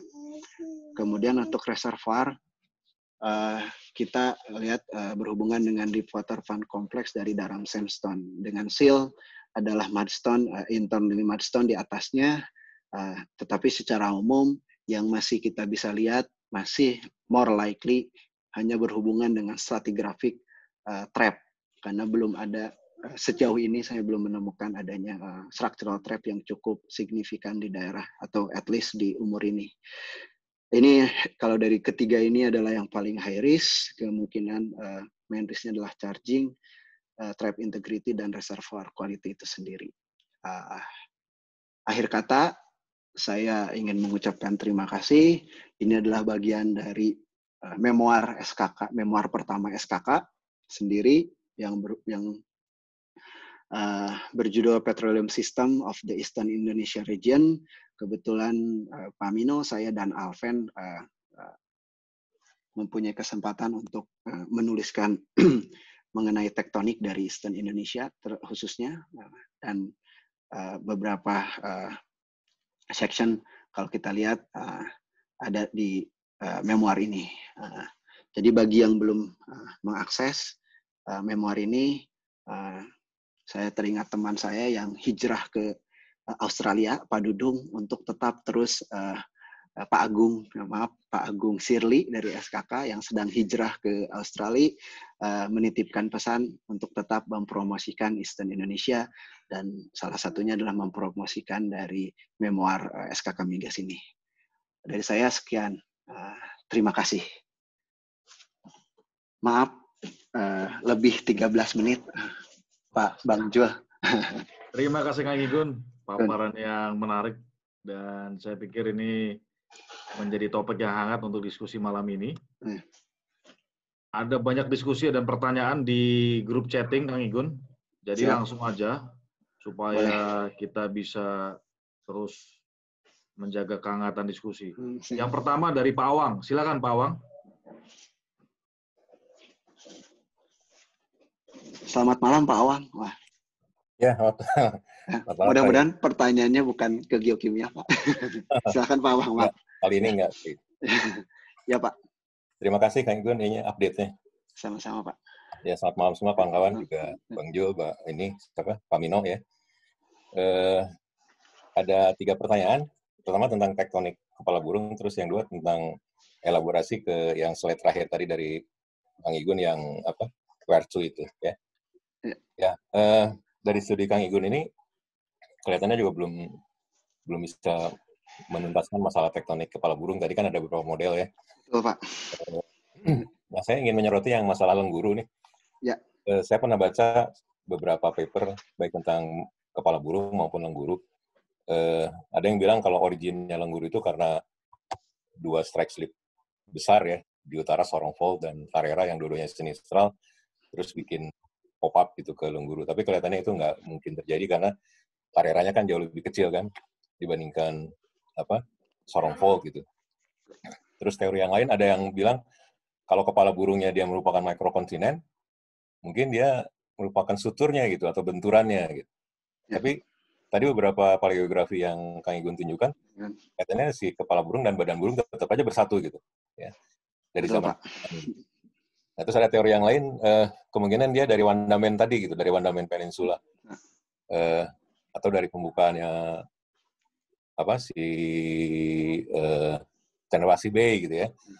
Ke arah ke arah ke arah barat sehingga Voltras Bell-nya kan makin ke arah timur makin ketat ya, ya. dibandingkan ke arah Bintuninya gitu. Nah sebenarnya kan masih banyak problem ya tentang nggak nggak semua juga setuju kepala burung itu mikrokontinen yang terpisah kemudian dia berbenturan dengan badan burung. Nah, terus leher burung itu adalah suturnya gitu. Kan belum tentu setuju semua Kemudian juga masalah rotasinya itu tadi juga ada yang clockwise, ada yang anti clockwise gitu. Nah, menurut Kang Gun gimana nih menghubungkan antara origin lengguru ini dengan status tektoniknya dari kepala burung sendiri? Itu dulu Kang Gun. Nanti ada yang dua lagi nanti saya ini. Siap, terima terima kasih Pak Wan. Wah, ini pertanyaannya uh, salah satu yang berat Pak. Tetapi uh, kalau saya mencoba uh, menjawab gitu Pak, Eh, di 2018 dan 2009 uh, eh, maaf di 2017 dan 2018 uh, eh, kebetulan Lloyd saya dan beberapa teman dari ENU secara maaf dari Royal Holloway kita coba melihat apa yang kita, apa yang kita pahami di Wandama Peninsula. Jadi uh, strip pertama teman-teman uh, melihat dari sebelah timur ke arah barat, kemudian kesempatan kedua saya melihat dari kornya Wandama ke arah sebelah uh, dari timur ke arah, uh, maaf dari kornya uh, uh, Wandama dari kor Wandama ke arah barat.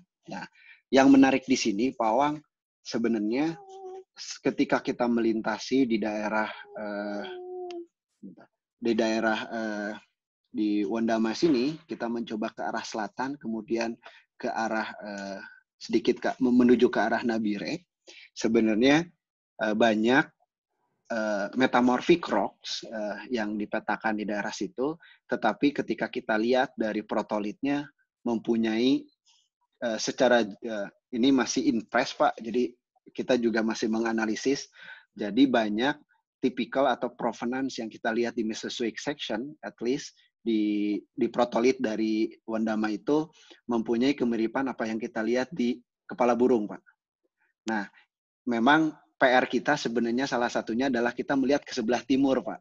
Karena yang yang waktu itu kita coba uh, saya Papa Mino khususnya juga ketika kita lihat daerah Boka, tapi sayangnya dengan sosial isu kita sempat terhenti, jadi nggak bisa kita lihat. Sebenarnya ingin saya bandingkan adalah kalau kita melihat secara umum protolit, karena di daerah sini memang sudah metamorphic rock, Pak.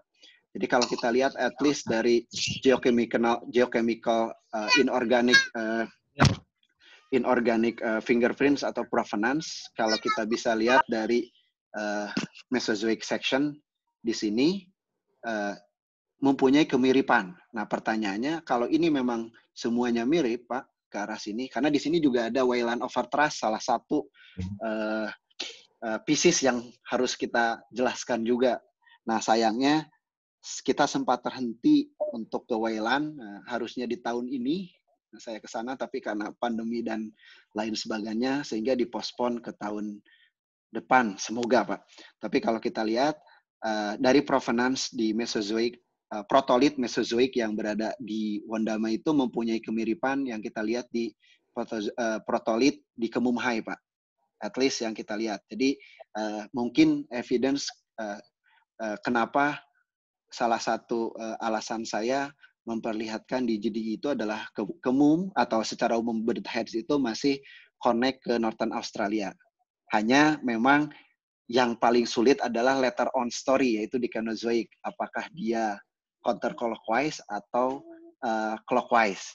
Uh, karena uh, di sini memang ada sedikit argumen Pak. Kalau kita lihat dari seismic sensation di uh, di Cendrawasih Bay kita cirikan kita mempunyai uh, trust-trust yang cukup uh, uh, menarik dari thick skin to thin skin mungkin ada uh, sopang gitu ya papernya sopang ataupun fubiliar uh, dari lengguru uh, kemudian uh, bergerak ke arah uh, ke ke ke cendrawasih masih dicirikan oleh uh, trust system.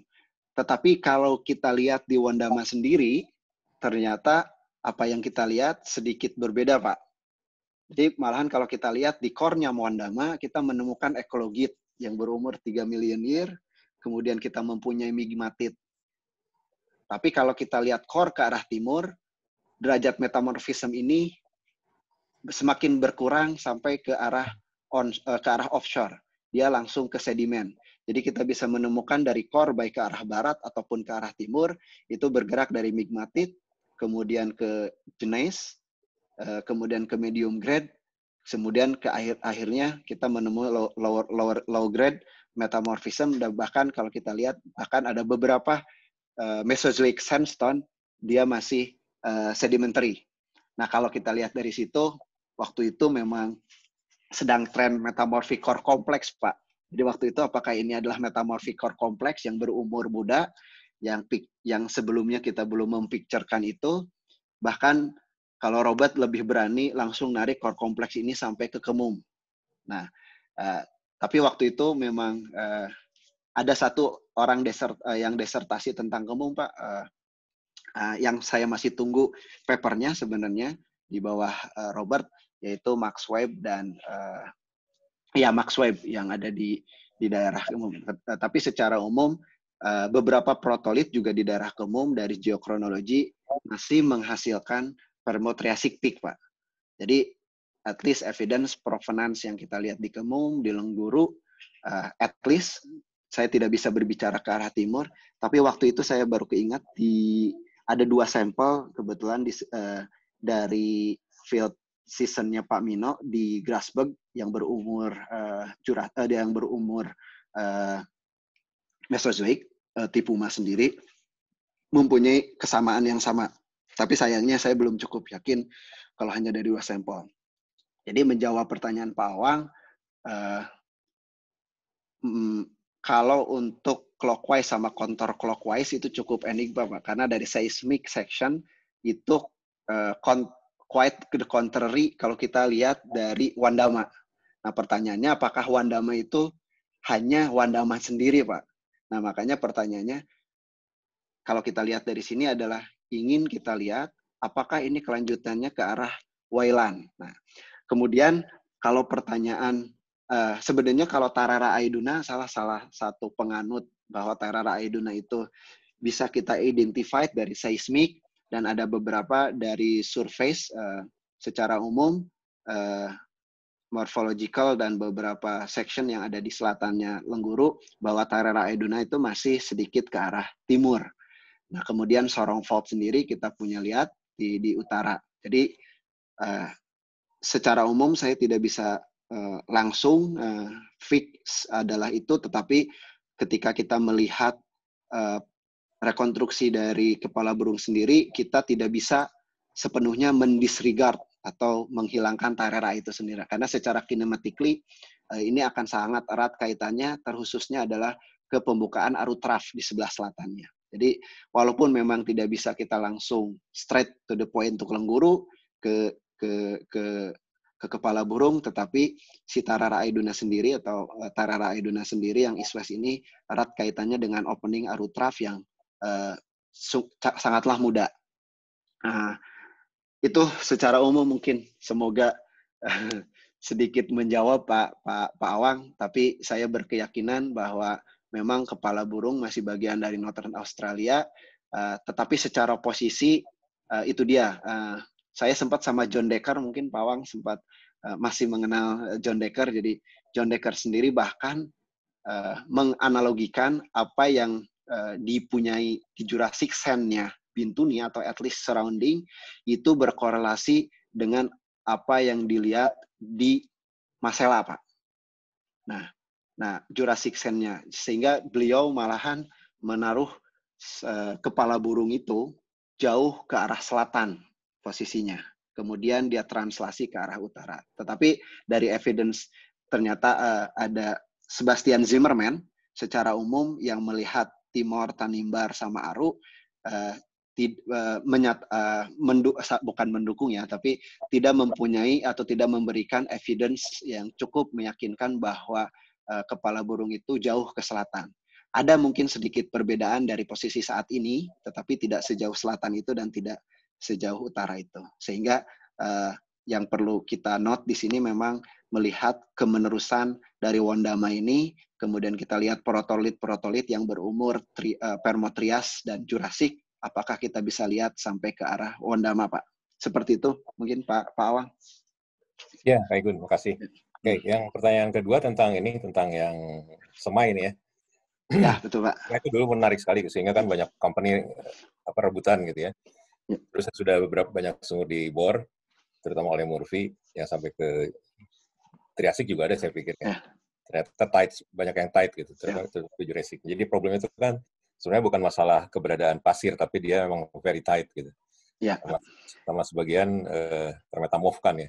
ya. Nah, tadi ada section yang menarik dari Kang Egun itu yang menaruh serai ya. Serai di di apa di bagian misal onin, ridge gitu. Nah, ya. saya dulu sempat evaluasi juga problem yang lain yang tentang semai itu adalah masalah ini, masalah eh, apa? Dulu dia sempat tenggelam dalam sehingga reservoirnya sangat tight gitu ya. ya. Baru terangkat gitu. Terangkat kemudian di, di periode pengangkatan misalonin. Jadi sekarang kita hmm. mendapatkannya seperti antiklin yang gede, yang besar sehingga menarik gitu. Karena waktu itu ya. oleh beberapa company pernah dibandingkan dengan dengan abadi nah di section ini. Hmm. Memang itu lebih besar dari abadi si si Betul, Pak. Kuas itu ya. ya kalau nggak salah ya bukan lengkuas andalan andalan iya andalan itu nah jadi problemnya kelihatannya di sini tuh di samping masalah very tight karena mungkin dulu kena tenggelam dalam sekali baru keangkat di belakangan gitu mungkin di neogen ya pada iya. saat uh, misal onin itu jadi masalah late structure juga ada gitu ya, di samping tight karena too deep dulunya kemudian dia keangkat di belakangan sehingga uh, late late late late structure. Nah itu kan masalahnya jadi susah kan. Sementara hmm. reservoir type terus dia juga merupakan uh, trap yang terakhir terbentuk. Itu itu itu yang harus diadres juga gitu. Betul pak. Sekarang ini kan ting baru tinggal semai tiga kalau nggak salah ya yang belum dilakukan pengeboran ya.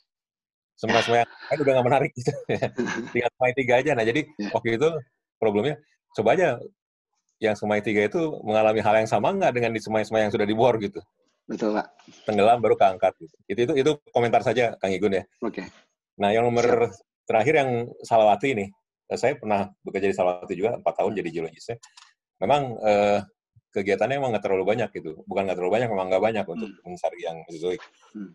Tapi belakangan operator di sana pengen mencari itu. Nah kebetulan Kang Igun kan menampilkan itu. Tadi saya ngikutin di peta paleografinya ya, yang Jurassic terutama ya. Ya. Uh, di middle Jurassicnya kayak, kayaknya sempat non deposition deh Kang Igun.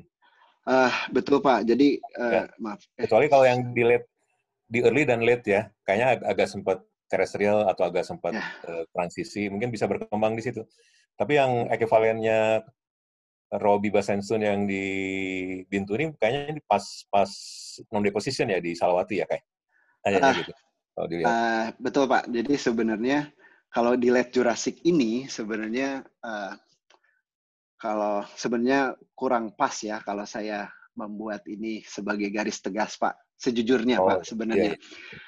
Sebenarnya tapi ada evidence uh, yang harus kita note bahwa ada beberapa uh, window yang kita lihat di jalur kalau kita lihat ini posisi sebagai sorong fault saat ini gitu Pak ya. Uh, yeah. Jadi di beberapa sorong fault itu kalau kita lihat uh, ada kalau di peta G, P3G adalah sebagai uh, sorong fault uh, undifferentiated uh, rocks gitu. oh. Dalam isinya di situ ada sangatlah bermacam beragam Pak. Di situ ada sandstone, ada hmm. claystone, ada ada bahkan ada bilang karbonat.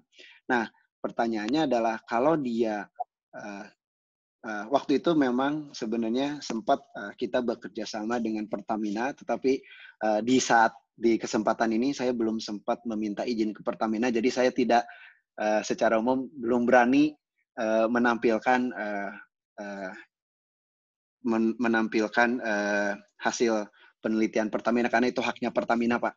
Tapi secara umum uh, waktu itu adalah uh, isunya adalah kalau kita punya sorong fault di sini, kalau sorong fault itu adalah deep seated, bahkan menembus dari Mesozoic sampai ke permukaan, kita coba cek apakah dating yang ada di sorong fault zone itu dari sandstone, apakah ada yang berumur Jurassic, Pak? Kan itu. Kalau misalnya memang yeah. ada berumur Jurassic, berarti ada evidence di bawah permukaan yang kita lihat merah ini, ya sebenarnya oh. ada Jurassic, cuman sayangnya seismiknya tidak ada, kemudian well yang menembus late Jurassic atau bahkan Jurassic kita tidak punya. Nah, uh, itu uh, lain atau uh, sebenarnya saya tidak bisa Pak menampilkan uh, paleogeografi post date dari yang ini gitu Pak. Nah, karena itu uh, terjadi da, da, satu lain hal tetapi saya coba kasih hint di sini Pak. Di sini kan kalau saya lihat di sini ada garis panah ya. Yeah. Sebagai sini. Mana uh, apa maksudnya garis panah. Jadi kalau kita lihat di sini masih kemungkinan di daerah sini Pak, kalau kita dengan data kalau ada seismik yang paling baru di daerah sini gitu atau kita lihat secara umum uh, uh, evidence-nya kemungkinan besar kita bisa melihat bahwa late Jurassic itu di kedalaman posisi saat ini masih bisa karena di beberapa kalau saya tidak salah juga Pak Pak Awang pernah melihat ada teori bahwa di sini Mesozoic section itu sampai ke Klamono tapi di waktu dulunya ketika Mesozoic dia berada tinggian tapi ketika Kenozoic dia kembali menjadi mendalam gitu Pak. Nah, karena evidence itu sebenarnya yang kita lihat salah satu note adalah untuk onshore nah, tentu saja eh, challenge kita adalah availability data di daerah sini. Tetapi yang ingin saya note di sini itu uh, masih terbuka kemungkinan bahwa late Jurassic yang kita lihat kemungkinan terestrial atau secara umum uh, itu masih bisa berkembang ke arah utara, Pak. Ya, Pak Igun, bisa ke slide yang sebelumnya tadi saya lihat yang ya, yang nah nggak yang tadi banyak itu, yang beberapa yang narunturan ini. Kayak ya. ini perkembangannya seperti itu ya. Ya. ya. saya pernah diskusi juga dengan Pertamina, kan memang ya. mereka mau seismik juga yang di West Kalmono ya ke Is, Is, Iskamono mungkin Pak. Kamono ya sebelah ya. Ya. Terus dari segi geokimia juga menarik karena oil Kamono ada juga yang nggak punya pensiri oh. tersier gitu. Uh, yang, betul yang Pak. Ya. Jadi kemungkinan memang ada gitu lah sebagian gitu di, di, di, di jalur panah yang tadi Kang Igun gambarkan. Betul Pak. Uh, semoga di sini juga ada SM yang Papua Pak kalau nggak salah di sini ada Pak Indra Yuliandri jadi Eh, kalau itu silahkan oh, aja iya. tanya tanyakan langsung Pak. Karena Pak mungkin mau nanya habis ini nih ya. Uh, Baik, mohon Kang Igun ya. Ya siap. Ya. Terima kasih Pak. Terima kasih Bang Yul. Yul. Ya. Terima kasih Pak Wang. Uh, kita lanjutkan. Benar, langsung yang kedua berarti langsung Bang Indra Yuliandri. Silakan. Halo, terima kasih Bang Jul. Kang Igun, saya langsung aja udah malam ini soalnya. Selamat malam. Siap. Siap Pak. Indra Oke. Pak. Jadi uh, kalau kita lihat di uh, Salawati Basin, terutama di bagian timur, apa memungkinkan kita punya sosok yang sudah mature ya, yang bisa charging untuk play tertiary di Salawati Basin. Karena kalau kita lihat memang untuk di bagian barat kita punya juga yang tebal, tetapi kan secara depth itu sangat dalam ya. Jadi kalau ya, kita ya. bicara quality reservoir itu udah pasti udah jelek sekali. Sedangkan di bagian timur dari Salawati kita punya yang lebih dangkal dan harapan kita kita punya reservoir yang cukup bagus untuk pretersier. Tetapi permasalahannya sosok tadi, bagaimana kita lihat dari graffiti pun tidak ada yang kelihatan ini ya eh, dalaman-dalaman seperti eh, Bintuni Basin ataupun di eh, di Salawati Basin di bagian timur. Apa memungkinkan nggak Kang Igun untuk uh, sostrok yang sudah mature dan bisa charging ke pretersier? Karena kalau kita ngarapin dari kelas Safet kan sudah tersingkap yang di bagian timur. Betul, betul Pak. Makasih Kang Igun. Sama-sama Pak Indra. Betul Pak. Jadi kalau saya jawab, kalau jawaban sebagai eksplorasionis dulu nih Pak, uh, itu memungkinkan Pak. Uh, jadi uh, tetapi kalau kita lihat, kita coba frugal, coba kita lihat lebih hati-hati. Sebenarnya kalau misalnya kita lihat, ternyata kita punya evidence. Mungkin Pak Indra juga mengikuti yang sebelumnya. Jadi kita punya evidence bahwa kita mempunyai early to middle Jurassic uh, sequence uh, di sesar Sorong kan gitu. Kemudian di daerah sebelah timur di sini, nah, maaf kalau saya lihat ke Permian gitu ya. Oh maaf, ternyata Permian yang di uh, ah, sini aja. Kalau kita lihat di Permian, di evidence kalau kita lihat di di Permian di daerah sebelah barat uh, Kemumhai saat ini kita menemukan adanya IFAT yang cukup tebal, at least di permukaan kita punya 30 meter uh, shell thickness yang kita bisa lihat tadi fotonya di lapangan. Nah, pertanyaan apakah ini cukup uh, widespread ke arah uh, di bawah Kelamono? Uh, uh, maybe Pak. Kalau kita lihat uh, mungkin beberapa section juga uh, kalau saya not mungkin Pak Indra juga sudah melihat di Isklama Sosa Pak. Jadi ada beberapa sayangnya memang di situ masih gantung Pak. Ternyata Isklama Sosa tidak sampai ke arah timur. Tetapi kalau kita ingin tapi yang satu lain hal lagi yang ingin saya note uh, saya bukan orang geofisik sebenarnya. Jadi bisa ditanyakan ke teman-teman di geofisik secara umum. Yang ingin saya note adalah ketika kita lihat mungkin dari ini hanyalah umum gravity uh, anomali, tapi ingin saya note di sini adalah ketika kita melihat adanya uh, apakah ada pola law anomali di daerah uh, Salawati atau Klamono yang kenapa di sini cukup berbeda dengan yang ada di di di, di South di Bintuni sebenarnya. Ada satu yang harus kita pertimbangkan atau kita concern bahwa uh, bisa saja yang kita lihat di sini adalah sebagai false positif Pak Pak Pak Indra. Maksud saya adalah karena kita mempunyai kontras yang cukup tinggi antara di utara dari Sorong Fault yaitu uh, kita punya uh, Tamrau Group, kemudian kita punya Oceanic Affinity, kemudian kita punya Moon Volcanic, kemudian kita punya uh, Jurassic dari Jurassic uh, Oceanic uh, Rocks yang ada di utara di di Uh, kalau di Fisher and Hermes dibilang adalah Northern Province yang berasosiasi dengan Oceanic Rocks, Oceanic Crust. Kemudian uh, secara densitas pun kalau kita lihat uh, perbedaannya cukup tinggi antara utara dan di selatan Sorong. Nah, yang saya uh, memang yang saya perlukan atau saya, yang kita perlu uh, perhatikan adalah uh, kita harus mencari salah satu metode yang bisa melihat antara kontras ini antara sedimen dengan uh, uh, kontinen uh, oceanic crust di utara sehingga kita bisa memfilter apakah yang kita lihat secara umum. Sini saya bisa zoom ya. Uh, maaf kalau saya zoom di sini. Jadi kalau kita lihat di sini nah bentukan-bentukan yang kita lihat uh, ini uh, yang yang yang saya khawatirkan adalah sebenarnya ini ikut terap eh, ingin ini ikut tertarik karena adanya kontras yang cukup tinggi di utara, Pak. Bahkan kalau kita lihat kontras di tinggi di utara, sebenarnya ini seolah-olah seperti punya dalaman, tapi ternyata sebenarnya kalau kita lihat ini adalah sekuen uh, sedimentary uh, sekuen yang dikelilingi oleh uh, ocean uh, igneous oceanic uh, affinity kalau kalau kita lihat di sekitarnya. Bahkan kalau kita lihat ke arah selatan bahkan kita mempunyai uh, periodotit yang cukup uh, tebal atau uh, periodotit yang cukup widespread. Nah, pertanyaan berikutnya adalah kalau begitu mungkin pertanyaan yang cukup unik atau cukup cukup menarik adalah pertanyaan berikut ke teman-teman geofisik, ada nggak metode yang cukup akurat atau yang cukup mampu selain seismik ya dengan mempertimbangkan bahwa kita punya dua kontras yang berbeda. Nah, memang ada beberapa waktu itu apakah FTG full tensor gradiometry secara umum bisa mensolve di daerah ini sebelum ada bukannya saya jualan Pak ya, tapi secara umum at least untuk meminimalkan rasio uh, tentu saja pada akhirnya kalau memang cukup menarik kita akan membor sebelum membor kita akan ada seismik. Tetapi dengan kondisi seperti ini mungkin uh, cara-cara tertentu yang bisa mengeliminasi atau mentackle problem ini menurut saya itu perlu untuk diperhatikan Pak. Karena kalau kita lihat ada uh, beberapa section kalau saya lihat atau beberapa uh, data di sini ternyata ketika kita sudah memperhitungkan dua uh, dua kontras ini lebih ter, cukup uh, cukup uh, menjadi jelas uh, uh, gambarannya di sini bahwa ternyata uh, di, di sini ada kemungkinan uh, sebagai basional area.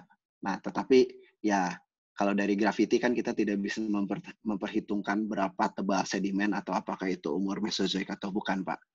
Dan satu lagi adalah kita punya problem di daerah sini karena tutupan atau coverage yang cukup tebal dari karbonat, Pak. Nah, karbonat di sini adalah kais. Pertanyaannya adalah uh, kalaupun nanti seismik adalah pertanyaannya, kita harus men-tackle. Jadi kalau boleh saran, sebenarnya saya dua untuk melihat uh, lebih jelas di sini. Satu mungkin metode untuk memperhitungkan dua kontras litologi yang berbeda. Yang satu lagi adalah uh, salah satu uh, alat, uh, bukan tools lah, tapi approach kita untuk apakah kita bisa uh, menghilangkan dulu efek dari karbonat, kemudian kita bisa melihat di dalamnya seperti apa. Uh, mungkin ada beberapa diskusi sebenarnya waktu itu apakah MT atau magnetoteorik itu bisa uh, men-solve atau at, at least men-tackle dengan problem uh, karbonat yang cukup luas di daerah sini. Uh, tapi uh, jawaban saya apakah mungkin mungkin saja terjadi karena di di sebelah timur sendiri kita punya dipping dari uh, Aifat itu ke arah southwest Pak. Jadi pada dasarnya kalau itu adalah terestri atau itu bagian dari suatu uh, pengendapan pertanyaannya apa yang kita lihat di sebelah sini ya secara classical view dari deep itu harusnya masih mendalam ke arah uh, southwest ini yang kita agak sulit adalah melihat bawah permukaan seberapa dalam dan seberapa luas. Mungkin itu Pak Pak Indra, uh, semoga uh, uh, menjawab uh, pertanyaannya Pak. Siap Kang Igung, terima kasih. Terima kasih. Terima kasih Bang Indra. Ya, kita ya. lanjutkan ke Pak Hedison Siroj. Silakan Pak Hedison, disampaikan langsung. Uh, terima kasih, uh, Kang Igun. Hmm. Siapa? Uh, tadi kalau ngelihat apa namanya uh, new reservoir target itu seperti itu sudah banyak kan proven ya. Cuman targetnya aja yang dia uh, berubah, tidak hanya melulu di mana di daerah Buntuni, possibility-nya itu daerah Kemum itu ada ya. ya. Nah, kemudian kalau untuk Sosroke sendiri masih uh, dengan Tipuma uh, AIFA dan apa namanya uh, AIFAM itu, Mas Igun, apakah ada sosrok lain yang mungkin semacam jazz, formation? Terima kasih. Oke, terima kasih Pak. Uh, saya mencoba menjawab Pak. Jadi kalau kita lihat di sini, betul Pak. Kalau untuk reservoir sebenarnya uh, untuk reservoir di daerah uh, Triasik atau Jurassic sebenarnya udah saya tadi singgung umumnya memang di daerah offshore sudah beberapa target sudah dibor. Tetapi yang mungkin uh, sebagai potensial yang ada di sini adalah apakah keberadaan atau kemenerusan dari reservoir tersebut bisa sampai onshore. Nah, pertanyaan itu adalah kemungkinan ada beberapa evidence bahwa kita masih bisa menemukan uh, reservoir target itu di sekitar onshore, Pak. Uh, tadi dengan limitasi yang kita punya juga kan Pak dengan apa yang sudah diutarakan Pak Awang dan Pak Indra. Nah kalau untuk sosrok Pak secara umum memang sejauh ini kalau kita lihat uh, untuk jas sendiri atau di Kretasius secara umum uh, ada beberapa uh, kesulitan yang kita uh, hadapi sebenarnya karena kalau kita lihat di arah maaf sedikit saya kembali atau enggak di, di di di sini Pak di sebelah timur setelah Permian ini kita mempunyai sedimentary cover maaf dari New Guinea limestone. Nah, kemudian kalau ke arah selatan uh, beberapa sudah uh, uh, Cretaceous uh, sayangnya di daerah Lengguru Fault Belt uh, sudah terlipat cukup uh, kuat Pak. Tapi memang ada beberapa kandidat di Cretaceous uh, kalau kalau kalau boleh saya uh, bilang adalah uh, sebagai potensial sosrok. Tetapi deformasi yang ada di sini yang uh, sebenarnya saya belum cukup yakin untuk uh, melihat karena dari geochemical analysis yang beberapa kita lihat dari Kretasius yang ada di Lengguru itu tidak terlalu uh, bagus Pak. Apakah itu adalah terkait dengan memang adanya deformasi secara umum yang kuat di Lengguru? Tetapi kalau di sebelah barat saya bisa lihat di daerah Seram, di daerah Misol, sebenarnya yang berumur atau ekivalen dengan jas adalah Pavanlav. Nah, sayangnya di Pavanlav secara umum eh, kita juga eh, saya eh, kemudian teman-teman juga di sini sudah melihat bahwa Pavanlav secara thickness itu cukup tebal, tapi secara TOC itu tidak terlalu bagus, Pak. Sehingga RO-nya pun ya, ya yang di sini kan kalau di misal. Jadi kemungkinan sebenarnya kalau kita lihat uh, justru lebih ke arah kalaupun Cretaceous adalah lebih ke arah bird body mungkin. Karena di bird body ini yang kita lihat ekivalen dengan jas Cretaceous di sini kita punya Pinia uh, mudstone, uh, kemudian kalau ke arah Jurasiknya kita punya Kopai. Nah, kalau ke arah timur mungkin sedikit berbeda, Pak. Tapi kalau di daerah kepala burung uh, secara umum Sosrok masih berhubungan dengan Jurassic uh, Kopai di sini uh, yang dianggap proven.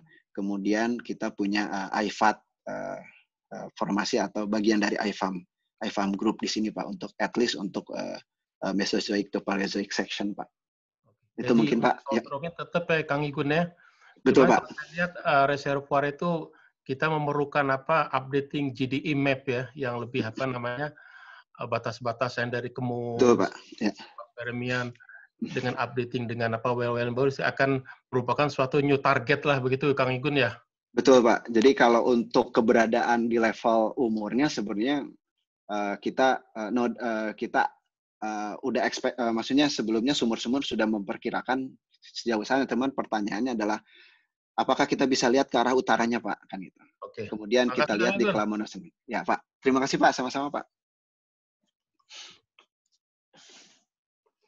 Terima kasih Pak Edison. Kita lanjutkan kepada Pak Andreas Yuvianto. Silakan Pak Andreas.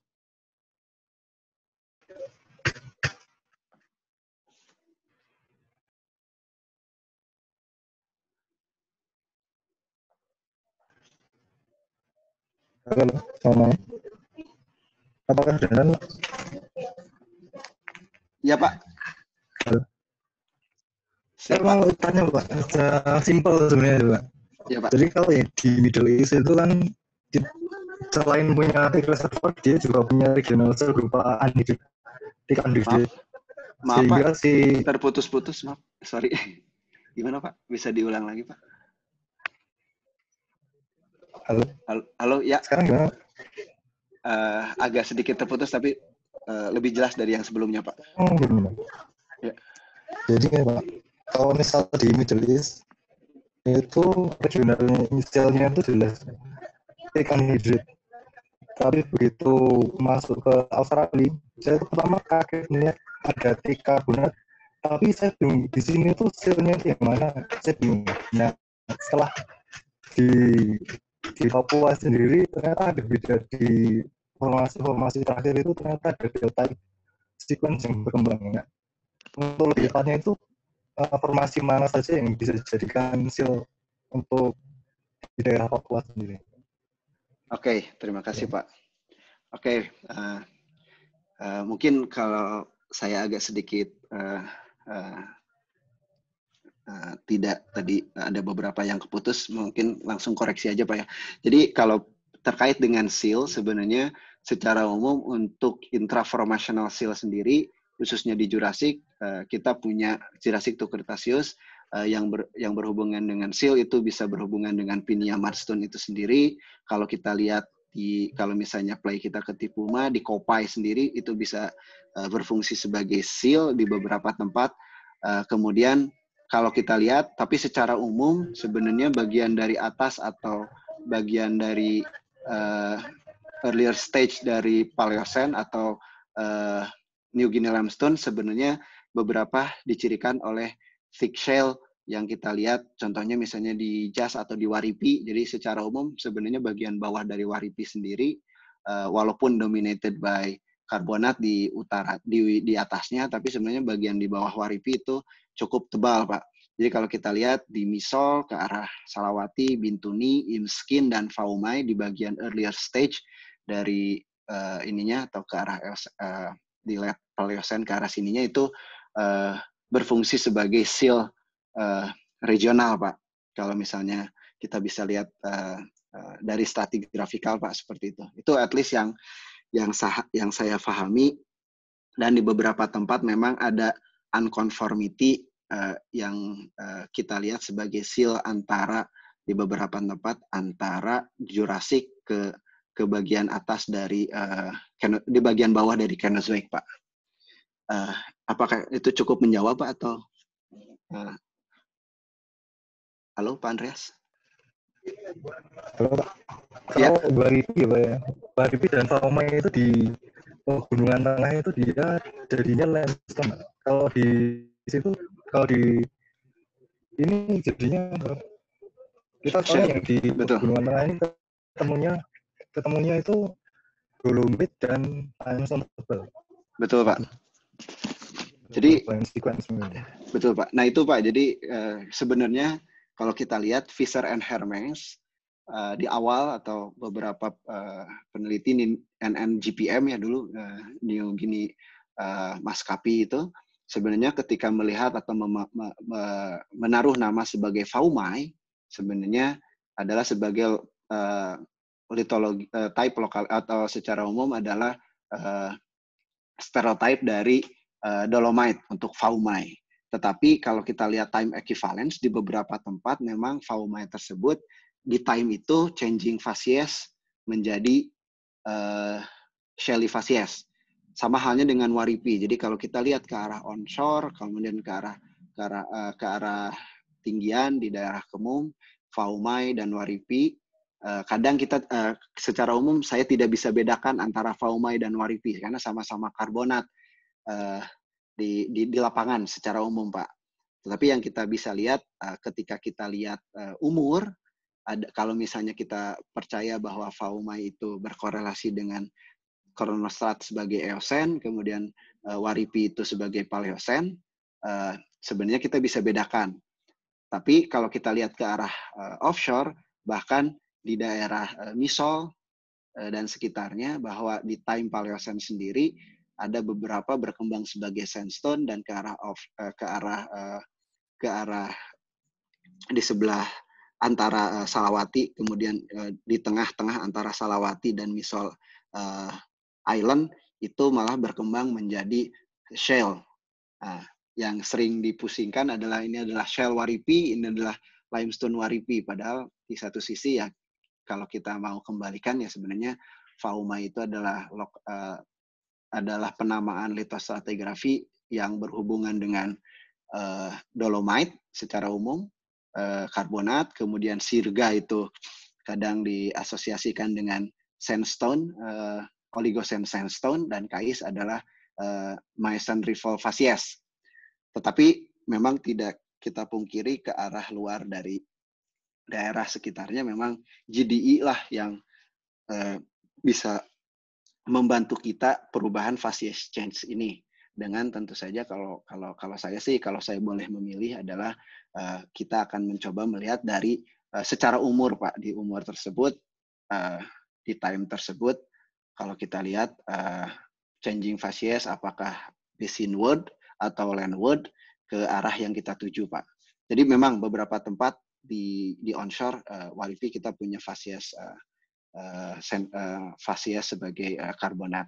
Sehingga sebenarnya dari dari uh, dari latest Mesozoic to to earliest uh, to Kenozoic sebenarnya posisi posisi dari kepala burung itu tidak terlalu jauh berbeda pak. Makanya hanya lihat berposisi seperti itu. Karena kita bisa lihat changing fasiesnya ke utara lebih uh, landward ke arah selatan lebih uh, lebih uh, basinward uh, seperti itu Pak. Walaupun di beberapa tempat memang ada anomali Pak.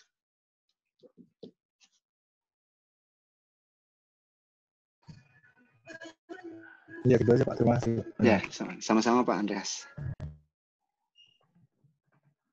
Terima kasih Pak Andreas. Kita lanjutkan dari Pak Sukahar. Silakan Pak Sukahar.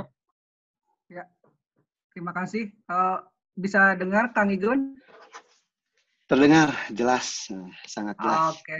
Siap. Uh, turnuhun Kang Igun presentasinya.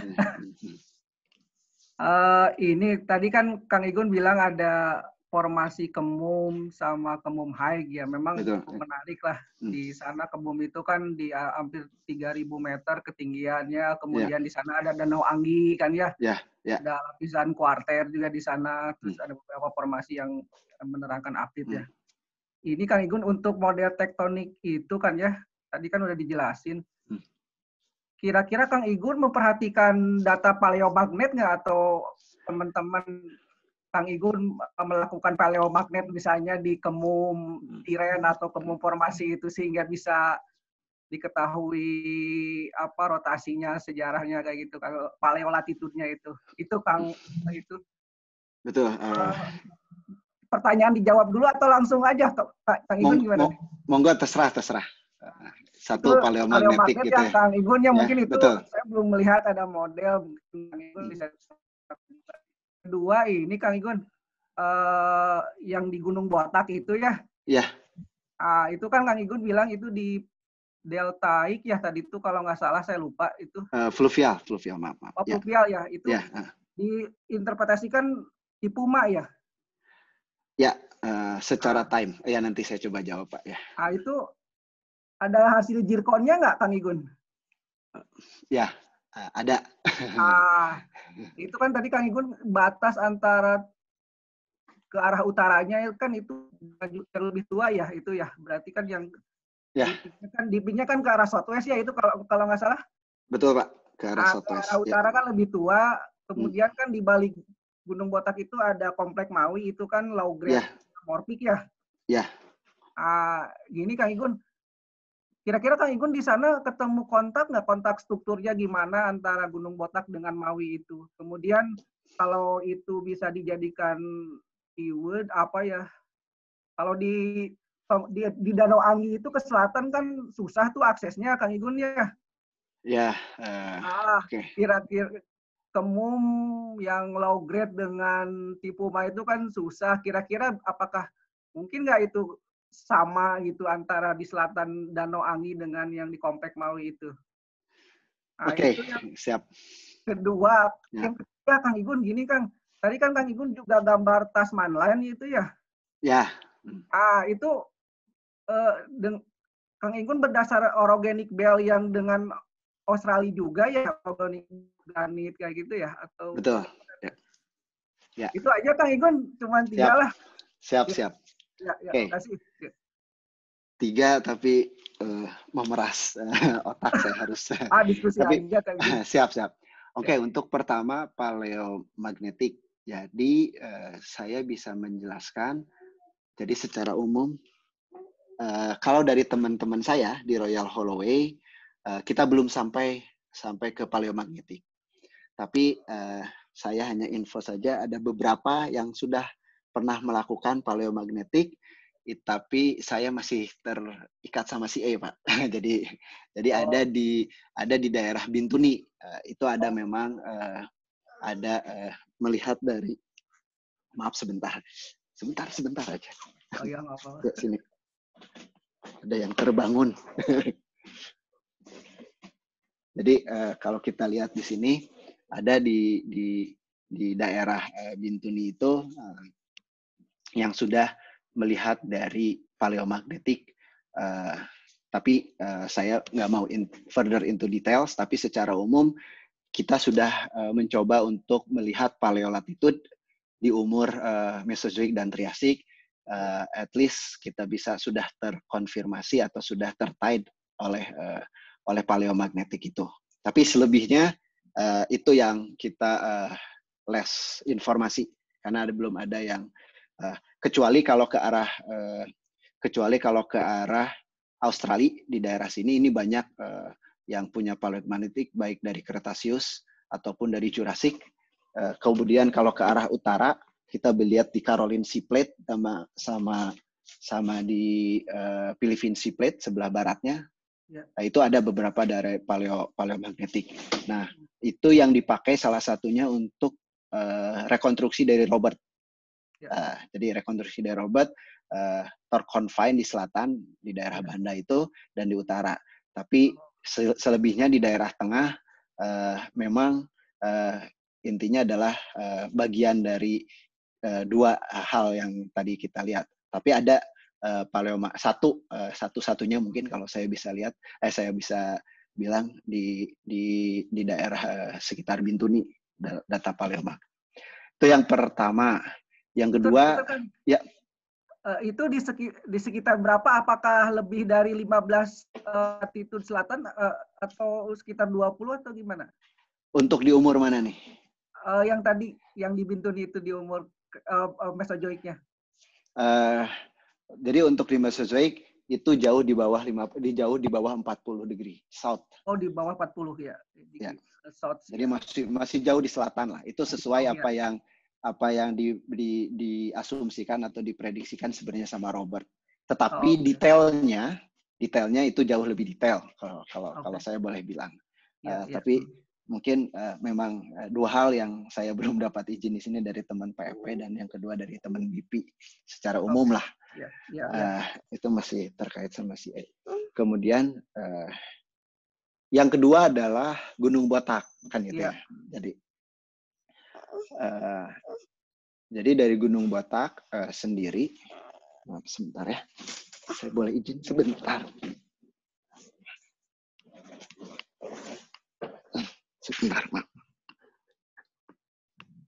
Ini dulu ya, sama. Sebentar ya. Maafkan, sorry. Iya, nggak apa-apa. eh, di utara dari Gunung Botak, apa yang terjadi di Maui. Nah, sebenarnya eh, kalau kita lihat ke arah sini ada yang cukup salah satu yang cukup menarik. Sebenarnya itu berkaitan tidak terlalu berkaitan erat, tapi di daerah sini kita punya batu bara Oh, yang sudah eh, antrasit lah secara umum karena sudah mengalami metamorfism. Eh, kalau kita lihat dari korelasinya mungkin saja itu bagian bawah dari Triasik. Tetapi saya tidak bisa memastikan apakah itu Permian protolitnya atau tidak. Itu yang pertama. Yang kedua, eh, ke arah selatannya atau ke arah bagian dari muda dari Jurassic ini, memang kita menemukan Kret- Cretaceous, kemudian kita mempunyai Imskin. Nah, kalau kontak sendiri, tidak ada kontak langsung antara Permian yang kita bisa amati di Maui ini terhadap eh, Triassic. Tapi dari appearance sebenarnya ke, kalau kita lihat antara Triassic terhadap Permian kan gitu ya. Itu Hmm. masih mempunyai korelasi atau mempunyai strike dan dip yang mirip walaupun Iya. kita tidak punya eh, kontak langsung. Hmm. Tetapi yang menariknya di sini adalah Permian di sana mengisi lembahan di antara dua bukit yang merupakan low grade metamorphic rock. ya. Itu yang cukup menarik. Jadi, Ya, nah low grade metamorphic rock itu sebenarnya apakah memang tapi di, di satu sisi saya juga belum bisa memastikan apakah itu Triassic atau bagian dari Permian ya. Tapi seolah-olah dia mengisi antara dua s- eh, mengisi satu lembahan eh, yang di atau barang tersebut diapit oleh dua tinggian, dua bukit Hmm. yang berumur kemungkinan eh, protolitnya jauh lebih muda. Iya, hmm. Nah, jauh lebih muda, prot- eh, sorry, jauh lebih tua protolitnya, tetapi metamorfismnya eh, itu tadi kembali ke pertanyaan Pak Wan, Iya. apakah itu memang bagian dari kelanjutan Wandama? Nah, Nah, karena nah, nah, karena kita belum tahu kal- karena apakah eh, apakah kemum itu forever high atau eh, ada indikasi. Eh, tapi secara umum dari eh, hasil eh, apa namanya eh, Max Web dan eh, yang yang sempat saya review sebentar kita lihat di daerah Kemum jadi ada evidence history bahwa Kemum itu di umur eh, Kenozoik eh, eh, eksum ekshumasi lah tapi berapa re- berapa rate exhumation-nya itu yang yang further eh, issue atau secara umum harusnya sudah ada sih sebenarnya cuman Hmm. mereka belum menerbitkan eh, paper saja Ya. Ah, kemudian apakah ada zirkon di daerah Gunung Botak? Ada. Di Hmm. daerah sebelah timur dari Gunung Botak, sebenarnya bagian bawah dari sini Ya. itu ada eh, mungkin kalau teman-teman di Black Gold dulu atau sempat eh, setelah Black Gold itu kalau nggak salah adalah Naiko ya. Iya. Sorry, eh, ya eh, teman-teman Naiko dan Black Gold lah gitu ya Hmm. di di daerah sana. John Decker itu sempat melakukan sampling dan waktu itu kita di Royal Holloway melakukan analisis zirkonnya. Ya.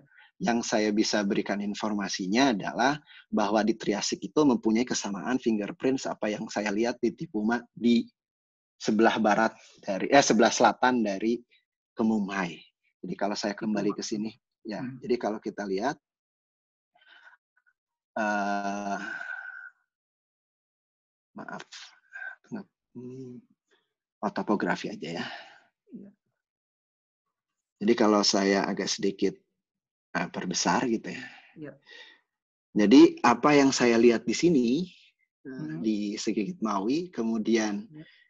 Uh, apa yang saya temukan di daerah sini nih, ini di, waktu itu ada namanya Bukit Maut lah disebutnya di di selatannya Anggi Gigi. Kita Hmm.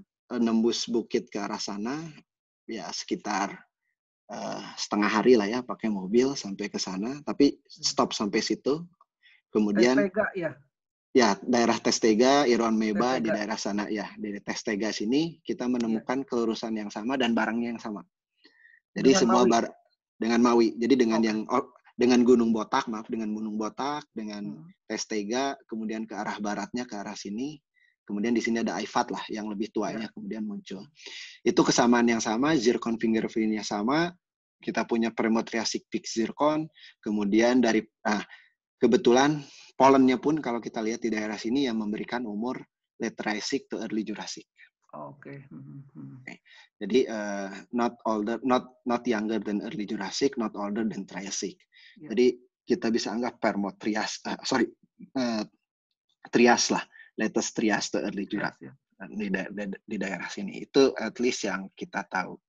Yang ketiga apa ya? Kalau boleh diulang, saya lupa. Jadi punten Kang Igun, jadi Eh? tadi kenal jadi itu alasannya Kang Igun bilang itu Gunung Botak itu bagian dari Tipuma gitu ya. Betul ya. Jadi Oke. dari dari dari zircon sendiri, kemudian dari palinologi, at Palinologi. least ya yang yang kita punya di daerah situ. Iya. Yang ketiga yang tadi yang gambar ada rekonstruksi itu kan ada Tasman Line itu Ah. itu menghubungkan dengan orogenic belt yang di Eastern Australia dengan Bowen Basin kayak gitu di North Betul. Queensland seperti Hmm. itu ya kay- kayaknya atau Eh, betul. Eh, sebenarnya gini, kalau saya kembali agak maaf mungkin biar eh, maksudnya tidak maksud untuk ber eh, bertambah panjang, tapi Tasman Line sendiri ada dua view di Australia, Hmm. geophysical view dan geological view. oke.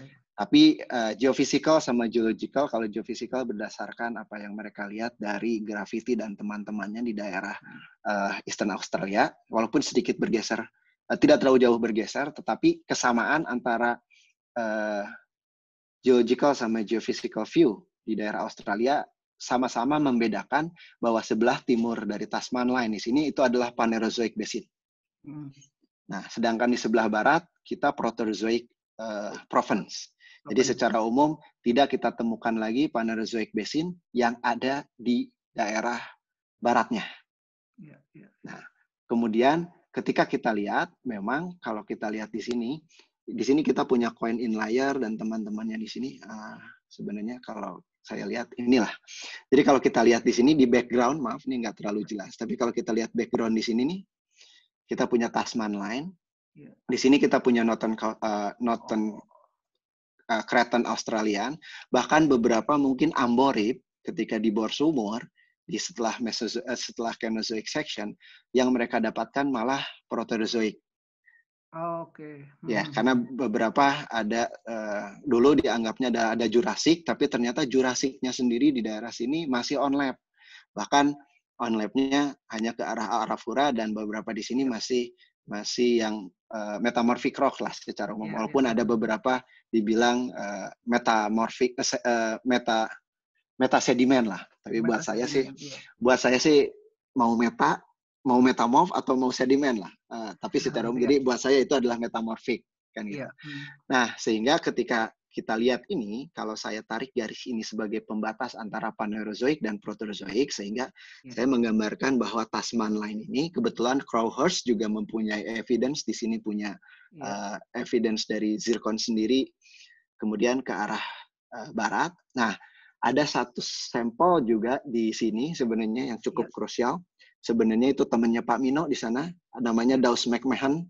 Dari Zircon Vision Track, Daus McMahon menemukan dari sampel yang dia punya di Grasberg, dia mempunyai relik zircon yang berumur 1.4 to 1.6 1,4 sampai 1,1,6 billion year. Hmm. Jadi berarti kan secara umum kalau dia iya. adalah uh, involving, kalau dia adalah di sini kan Pak Mino sendiri bilang bahwa Grasberg itu berhubungan dengan deep seated uh, uh, strike slip, kemudian Hmm. sehingga kita mempunyai uh, uh, Miocene uh, intrusion lah di daerah sini. Hmm. Nah, beberapa dari sampel zirconnya dari Dawes and McMahon men hmm. menceritakan bahwa di bawah Lengguru ya. kita mempunyai Northern Australian Province yang oh, berkaitan erat kalau kita lihat 1,6 itu adalah ya. berhubungan dengan MacArthur.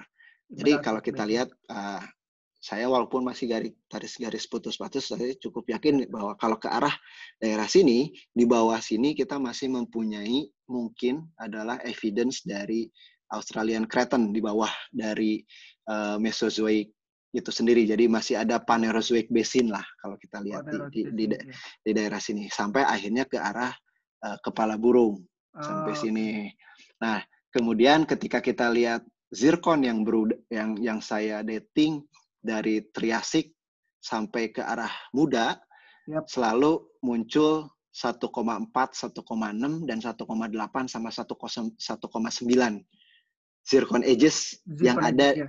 ya yang ada di hampir semua sekuen baik dari tua sampai muda.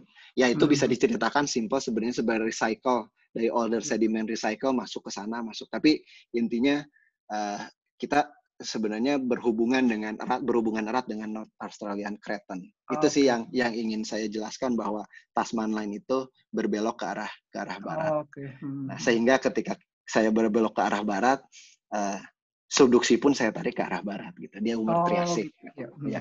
Kalau ya. kita lihat dari New England uh, Oregon. New England Oregon ya. Ya. ya Lancan Port Bell gitu ya. Ya, lah kelandan teman-temannya lah. Ya, Lantan dan teman-temannya lah. Siap. Ya. Nanti aja dilanjut diskusi Kang Igun. Boleh, ya. siap, siap. Terima ya. kasih. Ya. Gitu aja Kang Igun, hatur nuhun ya. Sami-sami sawangsun ya. Ya, ya. ya. Terima kasih Pak ini uh, host dari ISPG ya. Nuhun Kang Sukahar, luar biasa ya. seru nih. Lanjut juga nggak apa-apa, kita unlimited ini kalau di SPG kalau udah malam. siap. siap, siap, siap. Bebas. Oke, kita lanjutkan dari Pak Hendra Beni S. Silakan Pak Hendra. Ya, uh, terima kasih. Saya tertarik sebenarnya dengan uh, Permian Play. Itu kan ya. kayaknya malah belum belum apa belum atau mungkin jarang dieksplorasi. Saya Betul. mau nanya apakah uh, ada analognya di Northern Australia uh, yang bisa dijadikan buat analog hmm. di daerah sini. Uh, ya. Kemudian kalau dari data well tadi kayaknya uh, thickness-nya nggak begitu tebal ya, bahkan ada mungkin yang hilang atau non non depositif gitu malah. Betul betul. Uh, terus selanjutnya uh, dia kan uh, tadi Kang Igun cerita bahwa uh, sostroknya dari IFAT ya kalau nggak salah. Saya saya nggak begitu ya. paham IFAT. Uh, kemudian reservornya adalah AINIM ya, ya. AINIM. Ya. Nah, tapi kalau saya di AINIM sendiri itu ada call-nya juga. Apakah uh, call di INIM tidak bisa kita anggap sebagai sostroknya juga. Uh, itu ya. aja pertanyaan saya. Okay. Terima kasih. Terima kasih Pak, uh, Pak Beni. Jadi uh, betul Pak. Jadi kalau untuk analog sebenarnya recent obs uh, recent discovery uh, sebenarnya sudah ada di uh, berhubungan dengan Permotrias play Pak ya. Jadi tidak permian tidak permian per se, tapi mereka menyebutnya ada Permotrias atau di bawah dari uh, Jurassic uh, Plover sense uh, Plover uh, play lah secara umum. Itu ada di Northern Carnarvon, Pak. Jadi sebenarnya kalau kita lihat uh, sayangnya sebenarnya dulu pertama kali saya melihat Northern Carnarvon itu uh, daerahnya Woodside, Pak. Sebenarnya di daerah maaf kalau saya mengambil Northwest of Australia. Jadi kalau kita lihat ke arah sini nih di sini ada Argo Abyssal Plain, Pak. Kemudian di sini ada uh, Malita, kemudian Colburn, Petrel, dan yang lain-lain. Kemudian di sini ada Carnarvon Basin. Nah, Carnarvon Basin di sini sebenarnya secara umum uh, adalah uh, bagian dari Permo atau Permian uh, uh, Permian Basin lah. Karena secara umum ketika ke Jurassic, South Australia ini sudah mulai menyebar atau uh, sekuen yang kita lihat di sini adalah northeast southwest pak. Tetapi kalau kita lihat Permian, contohnya Malita Graben yang ada di sini itu hampir uh, northwest southeast. Nah, kalau recent observe uh, recent discovery entah itu sudah dipublish atau tidak, Pak, tapi sebenarnya ada daerah di sini itu namanya North, uh, North Carnarvon atau bagian dari Greater Carnarvon Basin itu uh, Triassic uh, sand sebagai reservoir. Nah, okay. kemudian kalau sedikit menilik sebentar, sebenarnya ada di Masela sendiri sebenarnya indikasi sebagai Permian Sosrok itu sudah kita lihat bahwa yang mencharging mungkin koreksi buat teman-teman uh, dari paper yang dilihat yang di pernah diceritakan uh, pernah dipublish oleh Inpex dan teman-teman adalah bahwa yang berkaitan erat dengan chargingnya yang ada di maaf, Masela itu justru uh, karena Masela berada di tinggian high gitu ya sebelah sini kemudian uh, bagian dalamnya ber, uh, berupa northwest atau uh, ya hampir-hampir northwest atau north south uh, trend dari Malita Graben yang ada di sekitar sini atau uh, kalau nggak salah saya saya saya saya pernah baca tuh. Nah itu charging kemudian ke arah uh, uh, ke arah abadi. Tapi kalau di sini ini sudah uh, discovery itu adalah bahwa Permian dan uh, dan Triassic-nya kalau kalau Jurassic sebagai reservoir, kemudian Permian uh, trennya itu sebagai pengisi selain dari masalah juga ada beberapa di uh, Southern Carnarvon di daerah sini. Tapi kalau yang terakhir itu adalah benar-benar bahwa Triasiknya adalah sebagai reservoir, Permiannya adalah sebagai source rock. Nah, yang yang dilihat adalah di Northern Carnarvon. Nah, kalau kita lihat kembali ke daerah uh, kepala burung, memang yang kita lihat ada beberapa uh, section khususnya di daerah Bintuni bahwa uh, triasiknya tipis, kemudian permiannya di beberapa tempat menjadi high kan gitu ya. Uh, tapi yang kita lihat maaf. Uh, jadi semoga yang pertama itu analoginya uh, analoginya itu Northern Carnarvon Pak. Nah, nanti kalau misalnya saya nemu, saya coba nanti kasih ke nemu papernya siapa tuh dia sudah publish saya nanti uh, kasih ke Bang Jul Pak. Uh, Oke Pak. Sebagai, siap. ya Uh, kemudian kalau yang uh, Permian itu, jadi kalau saya kembali ke arah sini, uh, ke gambar kartun. Nah ini aja ya. Jadi kalau kita lihat ke gambar kartun, untuk Permian memang secara umum cukup widespread, tetapi untuk Triassic sendiri memang terconstrain Pak. Ada yang beberapa non-depositional atau beberapa tempat dia sudah eroded. Nah, itu ya memang yang uh, uh, challenge uh, secara umum untuk memetakan Triassic. Terkhusus lagi kalau kita lihat ke arah Salawati. Karena secara umum untuk image di bawah permukaan Salawati itu cukup sulit. Dan di arah North Bintuni, kita cuma limitasi sampai ke arah uh, daerah sini nih. Sedangkan kalau ke arah off, uh, ke arah utaranya uh, Triassic sendiri sudah outcropping. Jadi kalau kita lihat dari arah sini dia uh, dipping ke arah southwest kalau saat ini. Ke arah southwest, ke arah Mogoe Deep, ke arah Aimau River Deep di daerah sini, Pak. Kemudian itu memang yang harus kita petakan lebih detail. Kemudian apakah di INIM itu sendiri bisa menjadi sosro? Sejujurnya bisa Pak. Jadi kalau kita lihat memang di INIM ada beberapa core layer eh, yang dijadikan sebagai uh, yang bisa bagus dijadikan sebagai uh, sosrok di daerah sini. Contohnya hal ini. Uh, tetapi keberadaannya yang kita lihat di lapangan masih beberapa setempat Pak. Jadi kalau dilihat di sini uh, secara umum dominatednya adalah sebagai uh, reservoir dari sandy unit ini kalau kita lihat sandy unit ini, uh, ini mungkin sekitar uh, 3 sampai 5 meter kita punya uh, hanya hanya setempat kita lihat. Tetapi semakin ke arah bawah sebenarnya bagian yang kita lihat sebagai ainim itu berubah menjadi aifat. Nah, uh, waktu itu sempat perdebatan di mana jadi kalau kita lihat antara ainim aifat kita bisa lihat di di cross section map di traverse yang kita lihat di di daerah sini nih Pak. Uh, jadi saya lupa. Oh ini nih. Jadi kalau kita lihat di section ini dari arah utara ke arah selatan gitu ya, kita bisa lihat perubahan dari Aifat ke Ainim Pak. Nah, apakah kita lihat kemunculan sandstone tebal pertama itu sebagai Ainim atau uh, kemunculan atau secara umum uh, kemunculan terakhir dari uh, call layer dari IFAT itu sebagai top dari uh, IFAT. tapi regardless itu sebenarnya kalau saya boleh lebih umum, sebenarnya Permian sequence sendiri baik IFAT, INIM memang sangat cocok untuk menjadi sosrok dan reservoir, Pak. Jadi secara umum kalau kita lihat ya Permian sequence itu sebagai good potential sosrok dan potensial reservoir. Uh, dan beberapa mungkin bagian dari INIM itu uh, mengkontribusi juga sebagai uh, sosrok uh, di beberapa di di sekuen Permian ini, Pak. Semoga itu menjawab, Pak.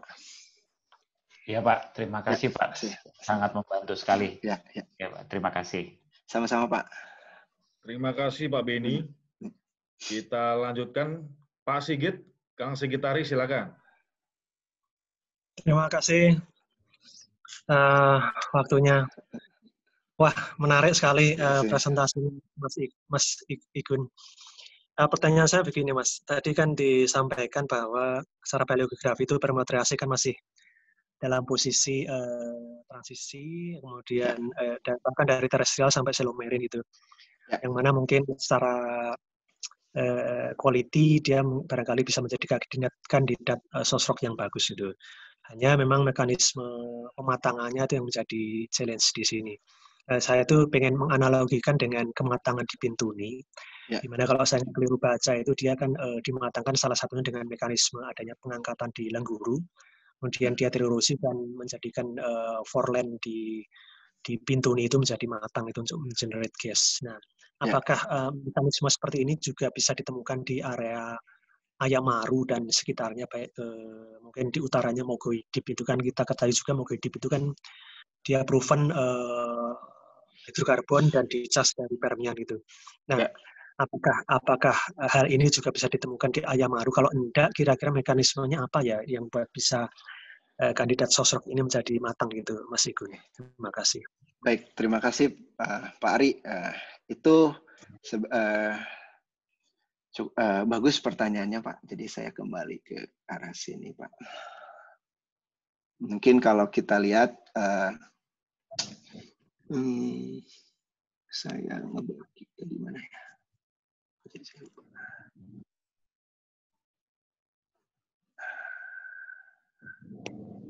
Oke, sini aja Pak mungkin ya. Jadi kalau secara umum ketika kita lihat di Bintuni, bahwa Bintuni sosroknya matang karena dia uh, deep basinal ini karena berhubungan dengan lengguru Fortress Belt. Tapi sebenarnya uh, secara position di Salawat itu memang cukup dalam Pak. Yang berbeda adalah mekanismenya. Kalau di sini adalah gulu Fotraspel, tetapi kalau kita lihat di sini ada Frodefuk uh, di tahun 1970-an di IPA itu uh, dia uh, ber, uh, me, me, menteorikan bahwa pembukaan atau secara umum Salawati Pulau Salawati terhadap uh, uh, badan burung dia terbuka karena pulau part basin, Pak. Nah, karena ada uh, mekanisme dari sorong fault. Jadi sebenarnya kalau kita lihat secara basinal, dia menjadi dua basin, Kenozoic basin yang berbeda secara posisi. Secara mekanisme, kalau di Bintuni dia karena lengguru fault belt, sedangkan kalau di Salawati dia menjadi dalam gara-gara uh, full apart basin berkaitan dengan sorong fault system. Jadi secara umum apa kemungkinan yang bisa mematangkan di daerah uh, misalnya East Clamondo dan yang lain-lain sebenarnya evidence-nya adalah kelas afet sendiri kita kita lihat di daerah uh, yang berumur muda yang di daerah Salawati di daerah sini sudah matang menjadi oil karena uh, Salawati Part Basin yang ada di sini. Sehingga kalau misalnya kita lihat punya sosrok di bawahnya kelas afet yang berumur tua, ya memang uh, risknya adalah bisa over mature kan gitu ya atau mungkin saja masih uh, mungkin beberapa tempat menjadi gas window. Nah, justru pertanyaannya adalah yang kesusahan di sini adalah memetakan dalamannya, Pak. Nih, sekarang mana sih dalamannya? Karena dari beberapa section kalau kita lihat semua seismik itu berfokus ke Cenozoic play, sehingga belum ada yang uh, mungkin uh, ke arah timur karena secara umum juga ini teman-teman Pertamina yang punya lapangan di sini uh, ke arah timur sendiri kita mem belum mempunyai uh, seismic section coverage. apakah memang kita mempunyai uh, pull apart basin yang sama di, set, di setting sebelah ini di kedalaman yang berhubungan dengan uh, kemum high. Dan terlebih lagi problem kita sebelah sini sebenarnya coverage dari karbonat itu menutupi uh, sekuen yang lebih tua karena di sini uh, uh, New Guinea limestone. Tetapi ya memang dia mendalam uh, dengan bentukan uh, maaf dengan basin uh, yang berumur sama dengan mekanisme di utara atau di Salawati uh, karena pulau part basin, sedangkan di Bintuni karena uh, lengguru fault belt itu sendiri. Nah, jadi secara umum uh, mekanismenya uh, saya believe bahwa di Salawati bukan berhubungan dengan lengguru fault belt, tetapi berhubungan dengan uh, pulau part. Nah, uh, pulau part basin yang ada di daerah Salawati. Yang harus kita petakan adalah gimana geometri atau gimana kita memetakan pulau part basin itu sementara ini sih itu. Begitu Pak. Iya, iya. Terima kasih. Uh, terus uh, mungkin melanjutkan sedikit ya. Mas ya. Itu. Jadi mungkin uh, kalau yang tadi disampaikan kan uh, sorong fault mungkin uh, menjadi pull apart itu ya. Mungkin barangkali ya. di sebelah selatan dari sorong itu sendiri eh, yang dia tidak terangkat oleh katakanlah misul onin kumawa atau sekak itu barangkali bisa menjadi kandidat kitchen ya untuk untuk mirip yang seperti di Salawati Basin atau mungkin di utaranya Mogoi itu yang belum terangkat eh, tadi kan ada beta apa outcrop itu ya ada musim ya. udah teroutcrop di situ ya. barangkali itu juga menjadi kandidat area yang menarik untuk dieksplor mungkin begitu kali ya betul Pak di antar uh, memang ya yang Sebenarnya kalau kita melihat ke arah selatan Salawati, kita memang punya flexor atau punya dalaman lah ya secara umum, yang mungkin kalau kita lihat berkorelasi, berasosiasi dengan Brow Basin. Tapi pertanyaan utama atau challenge utama di Brow Basin sebenarnya adalah uh, depth yang kita punya sekarang secara temperatur, secara basin mode lah ya, secara umum apakah memungkinkan bahwa Brow Basin itu bisa matang Pak? Nah, itu tentu saja uh, mungkin dengan teknologi atau kemudian dengan data tambahan yang baru itu uh, uh, bisa uh, membuka area brow basin itu sendiri. Uh, tetapi kalau kita lihat ada yang satu unik di dekat uh, Kasim atau area di sini ada Merak Emas. Sebenarnya kita punya kehilangan section hampir 2000 feet, Pak. Nah, itu dari dari bawah Miosen langsung ketemu Kretasius, Pak. Jadi kita nggak punya lagi faumai, kita nggak punya lagi ini. Jadi uh, sebenarnya uh, itu adalah erod itu adalah eroded. Kita believe itu adalah eroded dari shiftingnya RO. Berarti kalau kita lihat hmm. itu kemungkinan ya sebenarnya dulu ada ada pengendapan gitu, sequence hmm. pengendapan sampai ke arah sana. Cuman yang kalau kita cari ke ke arah onshore-nya itu yang kesulitan saya Pak sebenarnya apakah uh, memang uh, tapi kalau dari lapangan ya memang mengindik, mengindikasikan di beberapa tempat daerah sini uh, logically gitu ya di pinggara sana masa sih nggak ada kan gitu kecuali kalau hmm. memang di sini ada lokal high tersendiri. Nah untuk melihat hmm. lokal high sayangnya daerah-daerah seismik sini itu adalah uh, spekulatif pak kalau saya boleh lihat banyaknya adalah spekulatif itu aja sih pak. Terima kasih terima kasih ya. ya. Sama-sama pak. Makasih Pak Sigit. Hmm. Ini seru banget ini Kang Igun. Hmm. Kita lanjutkan. Mas Siap. Kartiko, silakan Mas Kartiko. Selamat malam Mas Igun. Selamat malam uh, Pak Kartiko. Ya.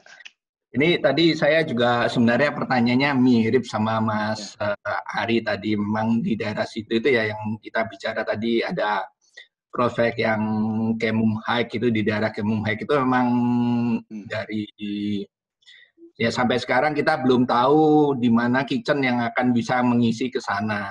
Seperti yang tadi Mas juga udah terangin ya, ya ada ya, ya. ada Salawati, ada Bintuni di selatannya, tapi yang di Kemum Hike itu gimana ngisinya?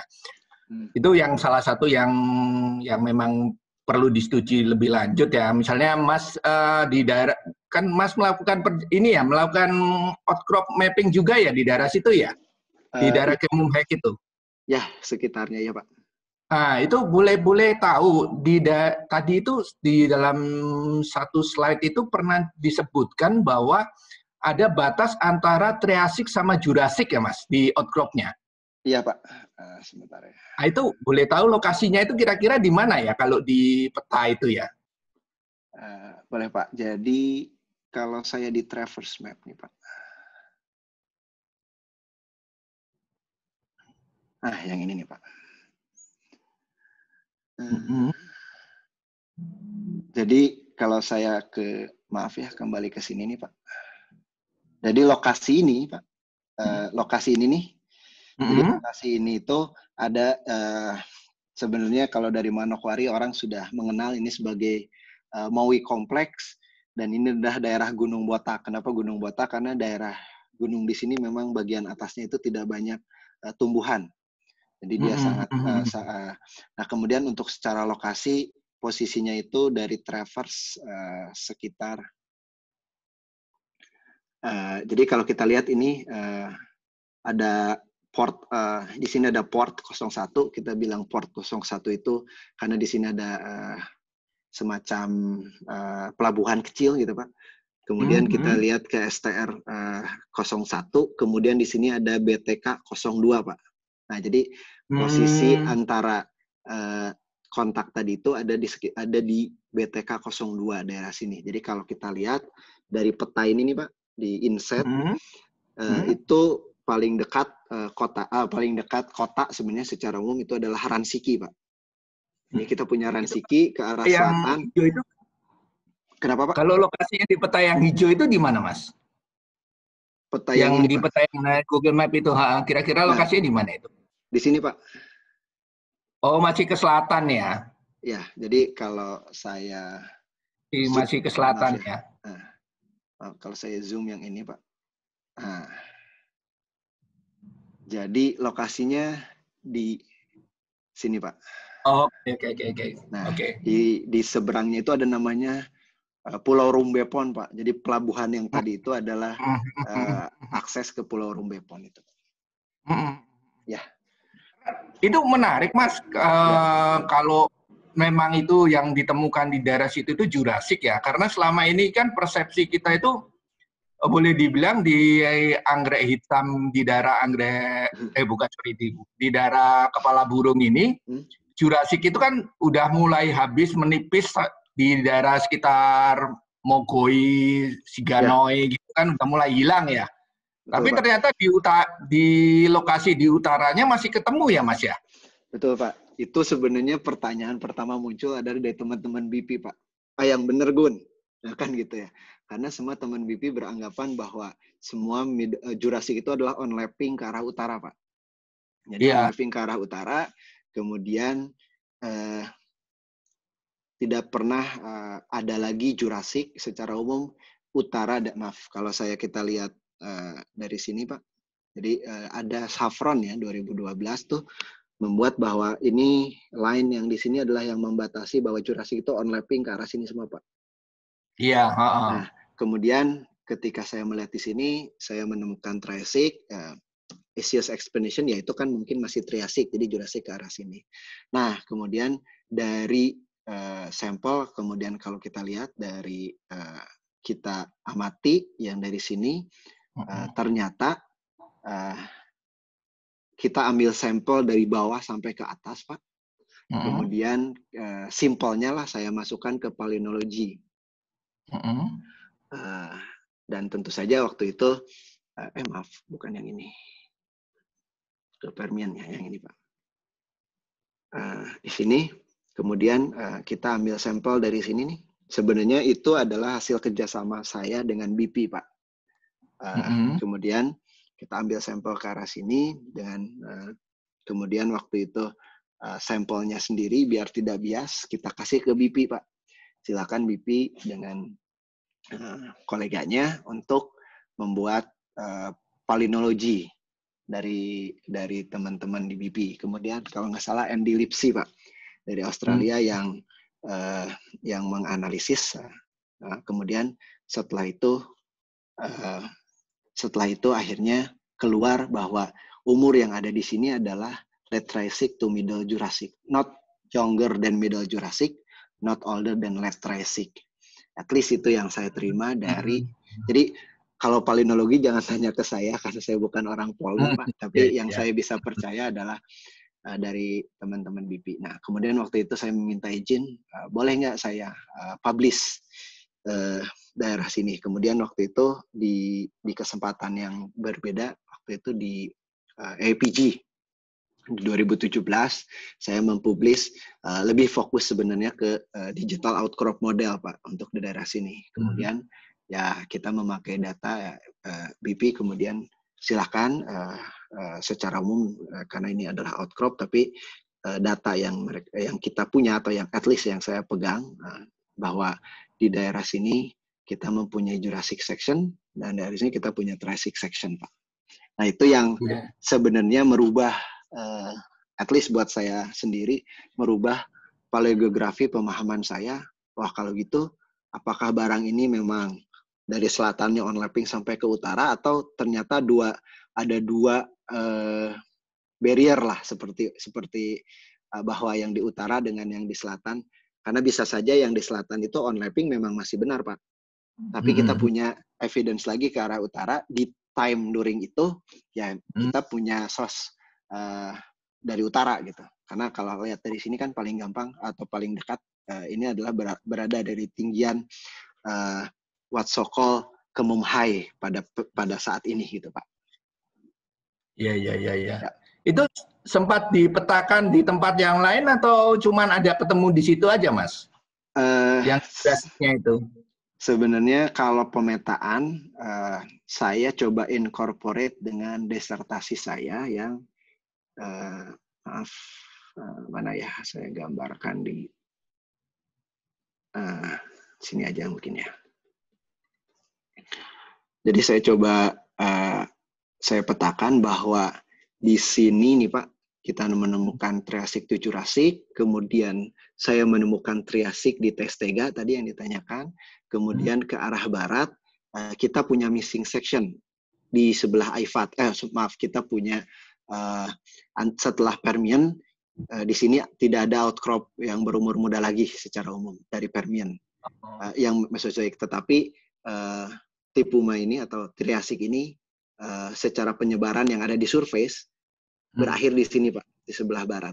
Nah, pertanyaannya apakah dia ada di bawah kedalaman? Itu adalah subject to be discussed, Pak. Karena Iya, kalau iya. kita lihat di ping di sini ya, eh maksud sih dia putus hanya sampai sini saja, kemungkinan mungkin sampai ke bawah. Jadi kalau mappingnya adalah ini adalah penyebarannya dari Hmm. barat ke timur. Nah, ini sendiri kemudian kalau saya boleh menambahkan, ini sendiri kita menemukan di sekitar pulau selatan dari Rumbepon dan sampai ke pen, sampai ke Wandama Peninsula. Tetapi sayangnya di Wandama Peninsula bahwa eh, umur ini itu eh, termetamorfkan, Pak. Jadi kita tahu dari umur protolit metamor eh, dari eh, jenis eh, kalau salah jadi jenis waktu itu saya sama sama Lloyd jenis protolitnya ternyata berumur eh, Triasik. Jadi Hmm. kalau saya um- hubungkan kemungkinan ini eh, ke arah sini eh, berkaitan erat dengan eh, tipuma atau Triasik, eh, at, at least Triasik sequence lah. Karena di sini ada beberapa yang memang menjadi skis eh, karena dia finer sedimen, tapi ada beberapa yang jadi jenis. Itu at least yang kita tahu di penyebaran secara umum. Tapi kalau untuk penyebaran detail sendiri dari surface eh, belum ada pak yang detail. Tapi kalau spot spotted spotted eh, saya bisa menginformasikan bahwa di sini kita punya tifuma, kita punya tifuma triasik, di sini kita punya triasik di Gunung Botak, di pulau ini yang kecil, kemudian di sini sebagai protolit. Nah, yang pertanyaan berikutnya adalah kita menemukan ini lagi di badan burung, Pak. Hmm. Cuman pertanyaannya adalah apa yang terjadi di daerah sini? Itu yang big question sampai sekarang. Apa, atau barangnya apa sih? Jenis makhluknya yang ada di sini itu kita belum tahu Pak di Wayland Over Trust. Itu mungkin maybe uh, salah satu cita-cita saya nextnya Pak ke arah timur Pak. Iya, iya, iya. Ya. Itu juga kalau kalau misalnya ada waktu atau kesempatan bisa bergerak ke arah utara itu menarik sekali tuh Mas kalau bisa ketemu Jurassic lagi indikasi dari Jurassic di di utara itu. Karena kan memang Jurassic itu kan bagus ya, reservoir Ya. yang bagus. Terus uh, uh, ya istilahnya boleh dibilang sosrok juga yang bagus. Nah, yang jadi kendala, yang sering jadi kendala itu kan kita tidak menemukan di bagian utara ini, di bagian utara dari yang, yang dekat dengan Kemum itu. Nah, ini kalau ada indikasi seperti itu jadi menarik itu. Eh, betul Pak, waktu itu tuh sempat saya akan ke arah selatan sini Pak. Dari Mhm. Testega, dari Iron Meba.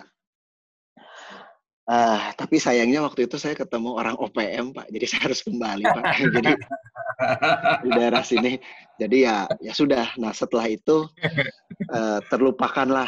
Tapi beberapa memang ke arah dari Testega ini ke arah barat tuh eh, dari kejauhan ya, dari remote sensing lah, dari kejauhan kita memang menemukan eh, sandstone berada eh, seperti apa yang saya kalau saya boleh pikir-pikir setelah saya melihat Gunung Botak, wah saya nyesel juga ya waktu itu kita nggak menemukan karena di daerah sekitar sini itu menemukan barang yang sama Pak. Nah sayangnya memang ya kita harus ke sana lagi untuk mengecek gitu Pak.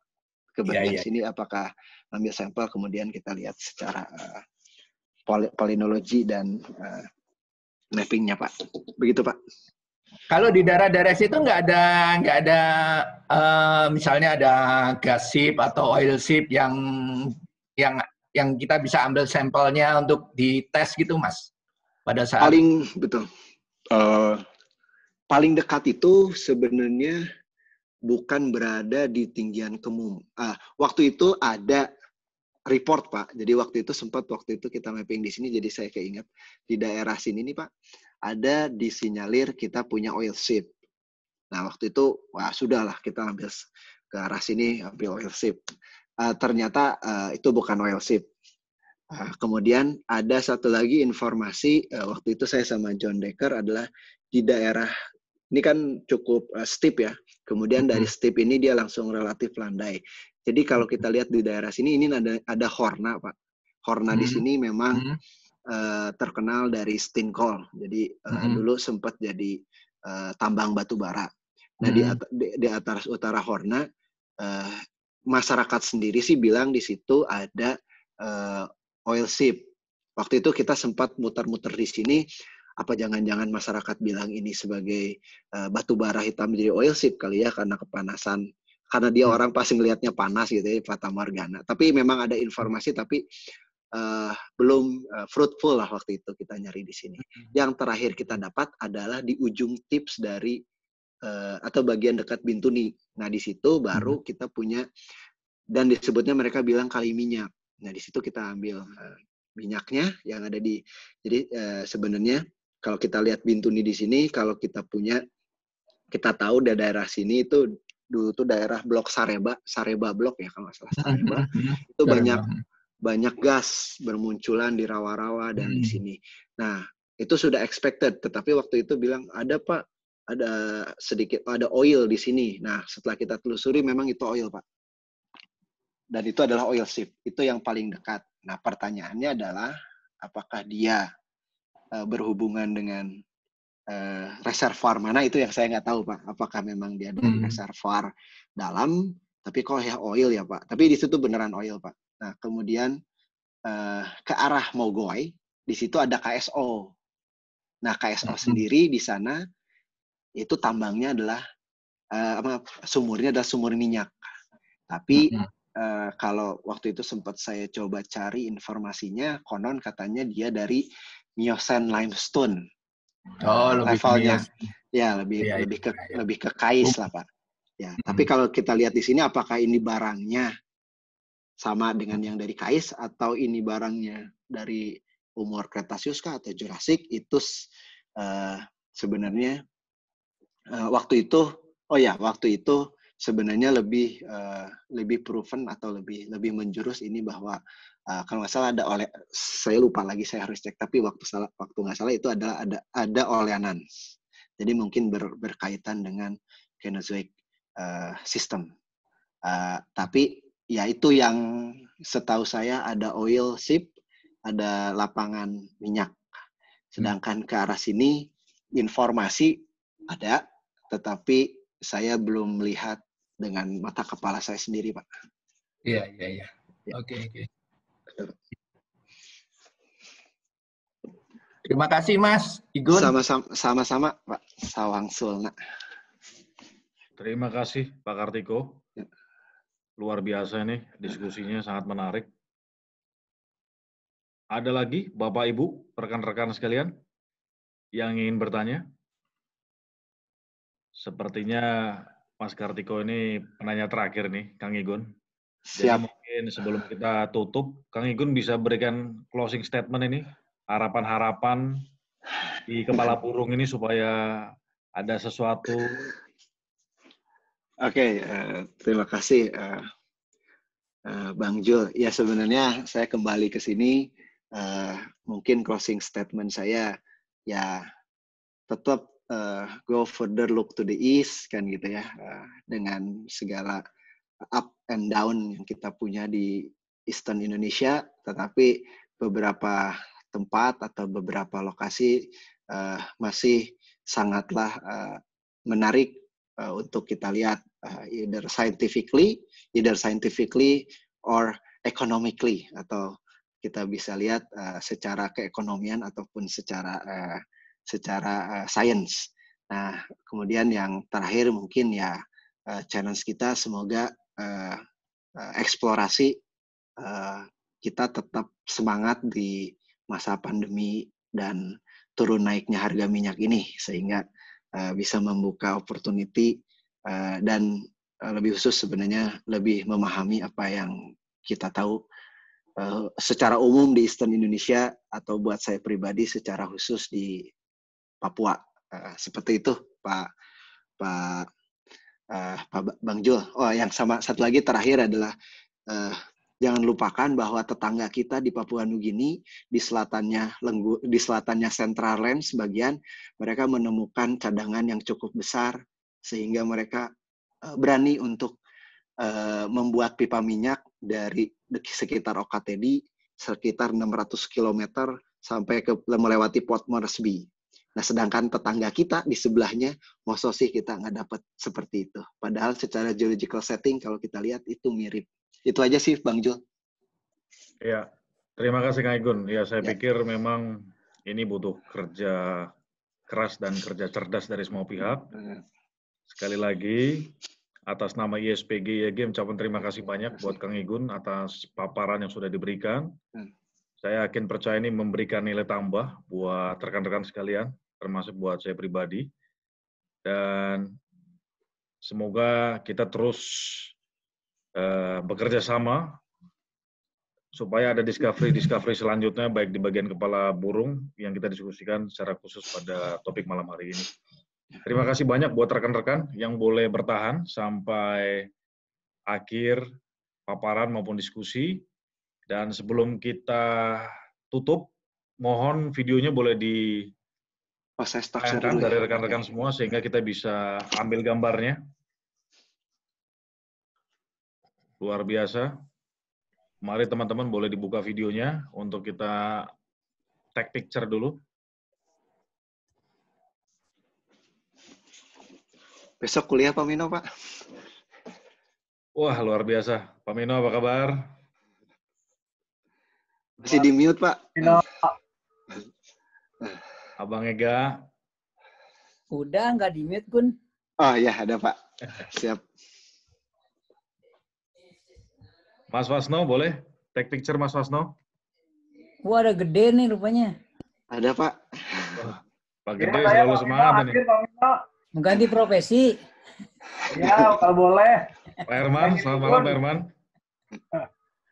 Ada ada di Yuliong. Git. Eh Pak Mino, apa kabar? Hmm. Oke, punten eh, kita take picture-nya ya. Ya. Oh, oke sebentar. Ada yang chat ini muncul. Oke, layar pertama satu dua tiga. Bentar. Oke, layar kedua. Satu, dua, tiga.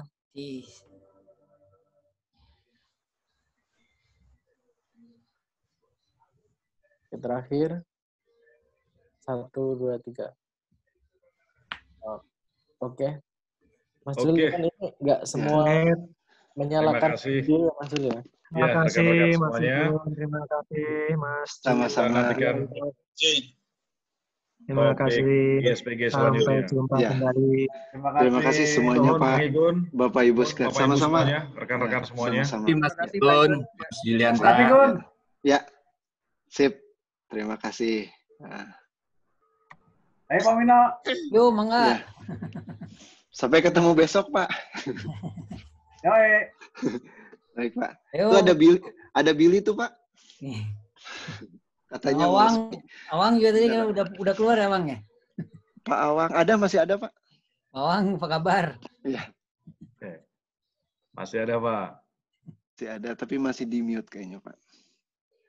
Oh baik Kang, Kang Mino. Eh, Mino. kamar udah lama nggak kelihatan. Ya udah lama nggak kelihatan. Pensiun kan, udah pensiun.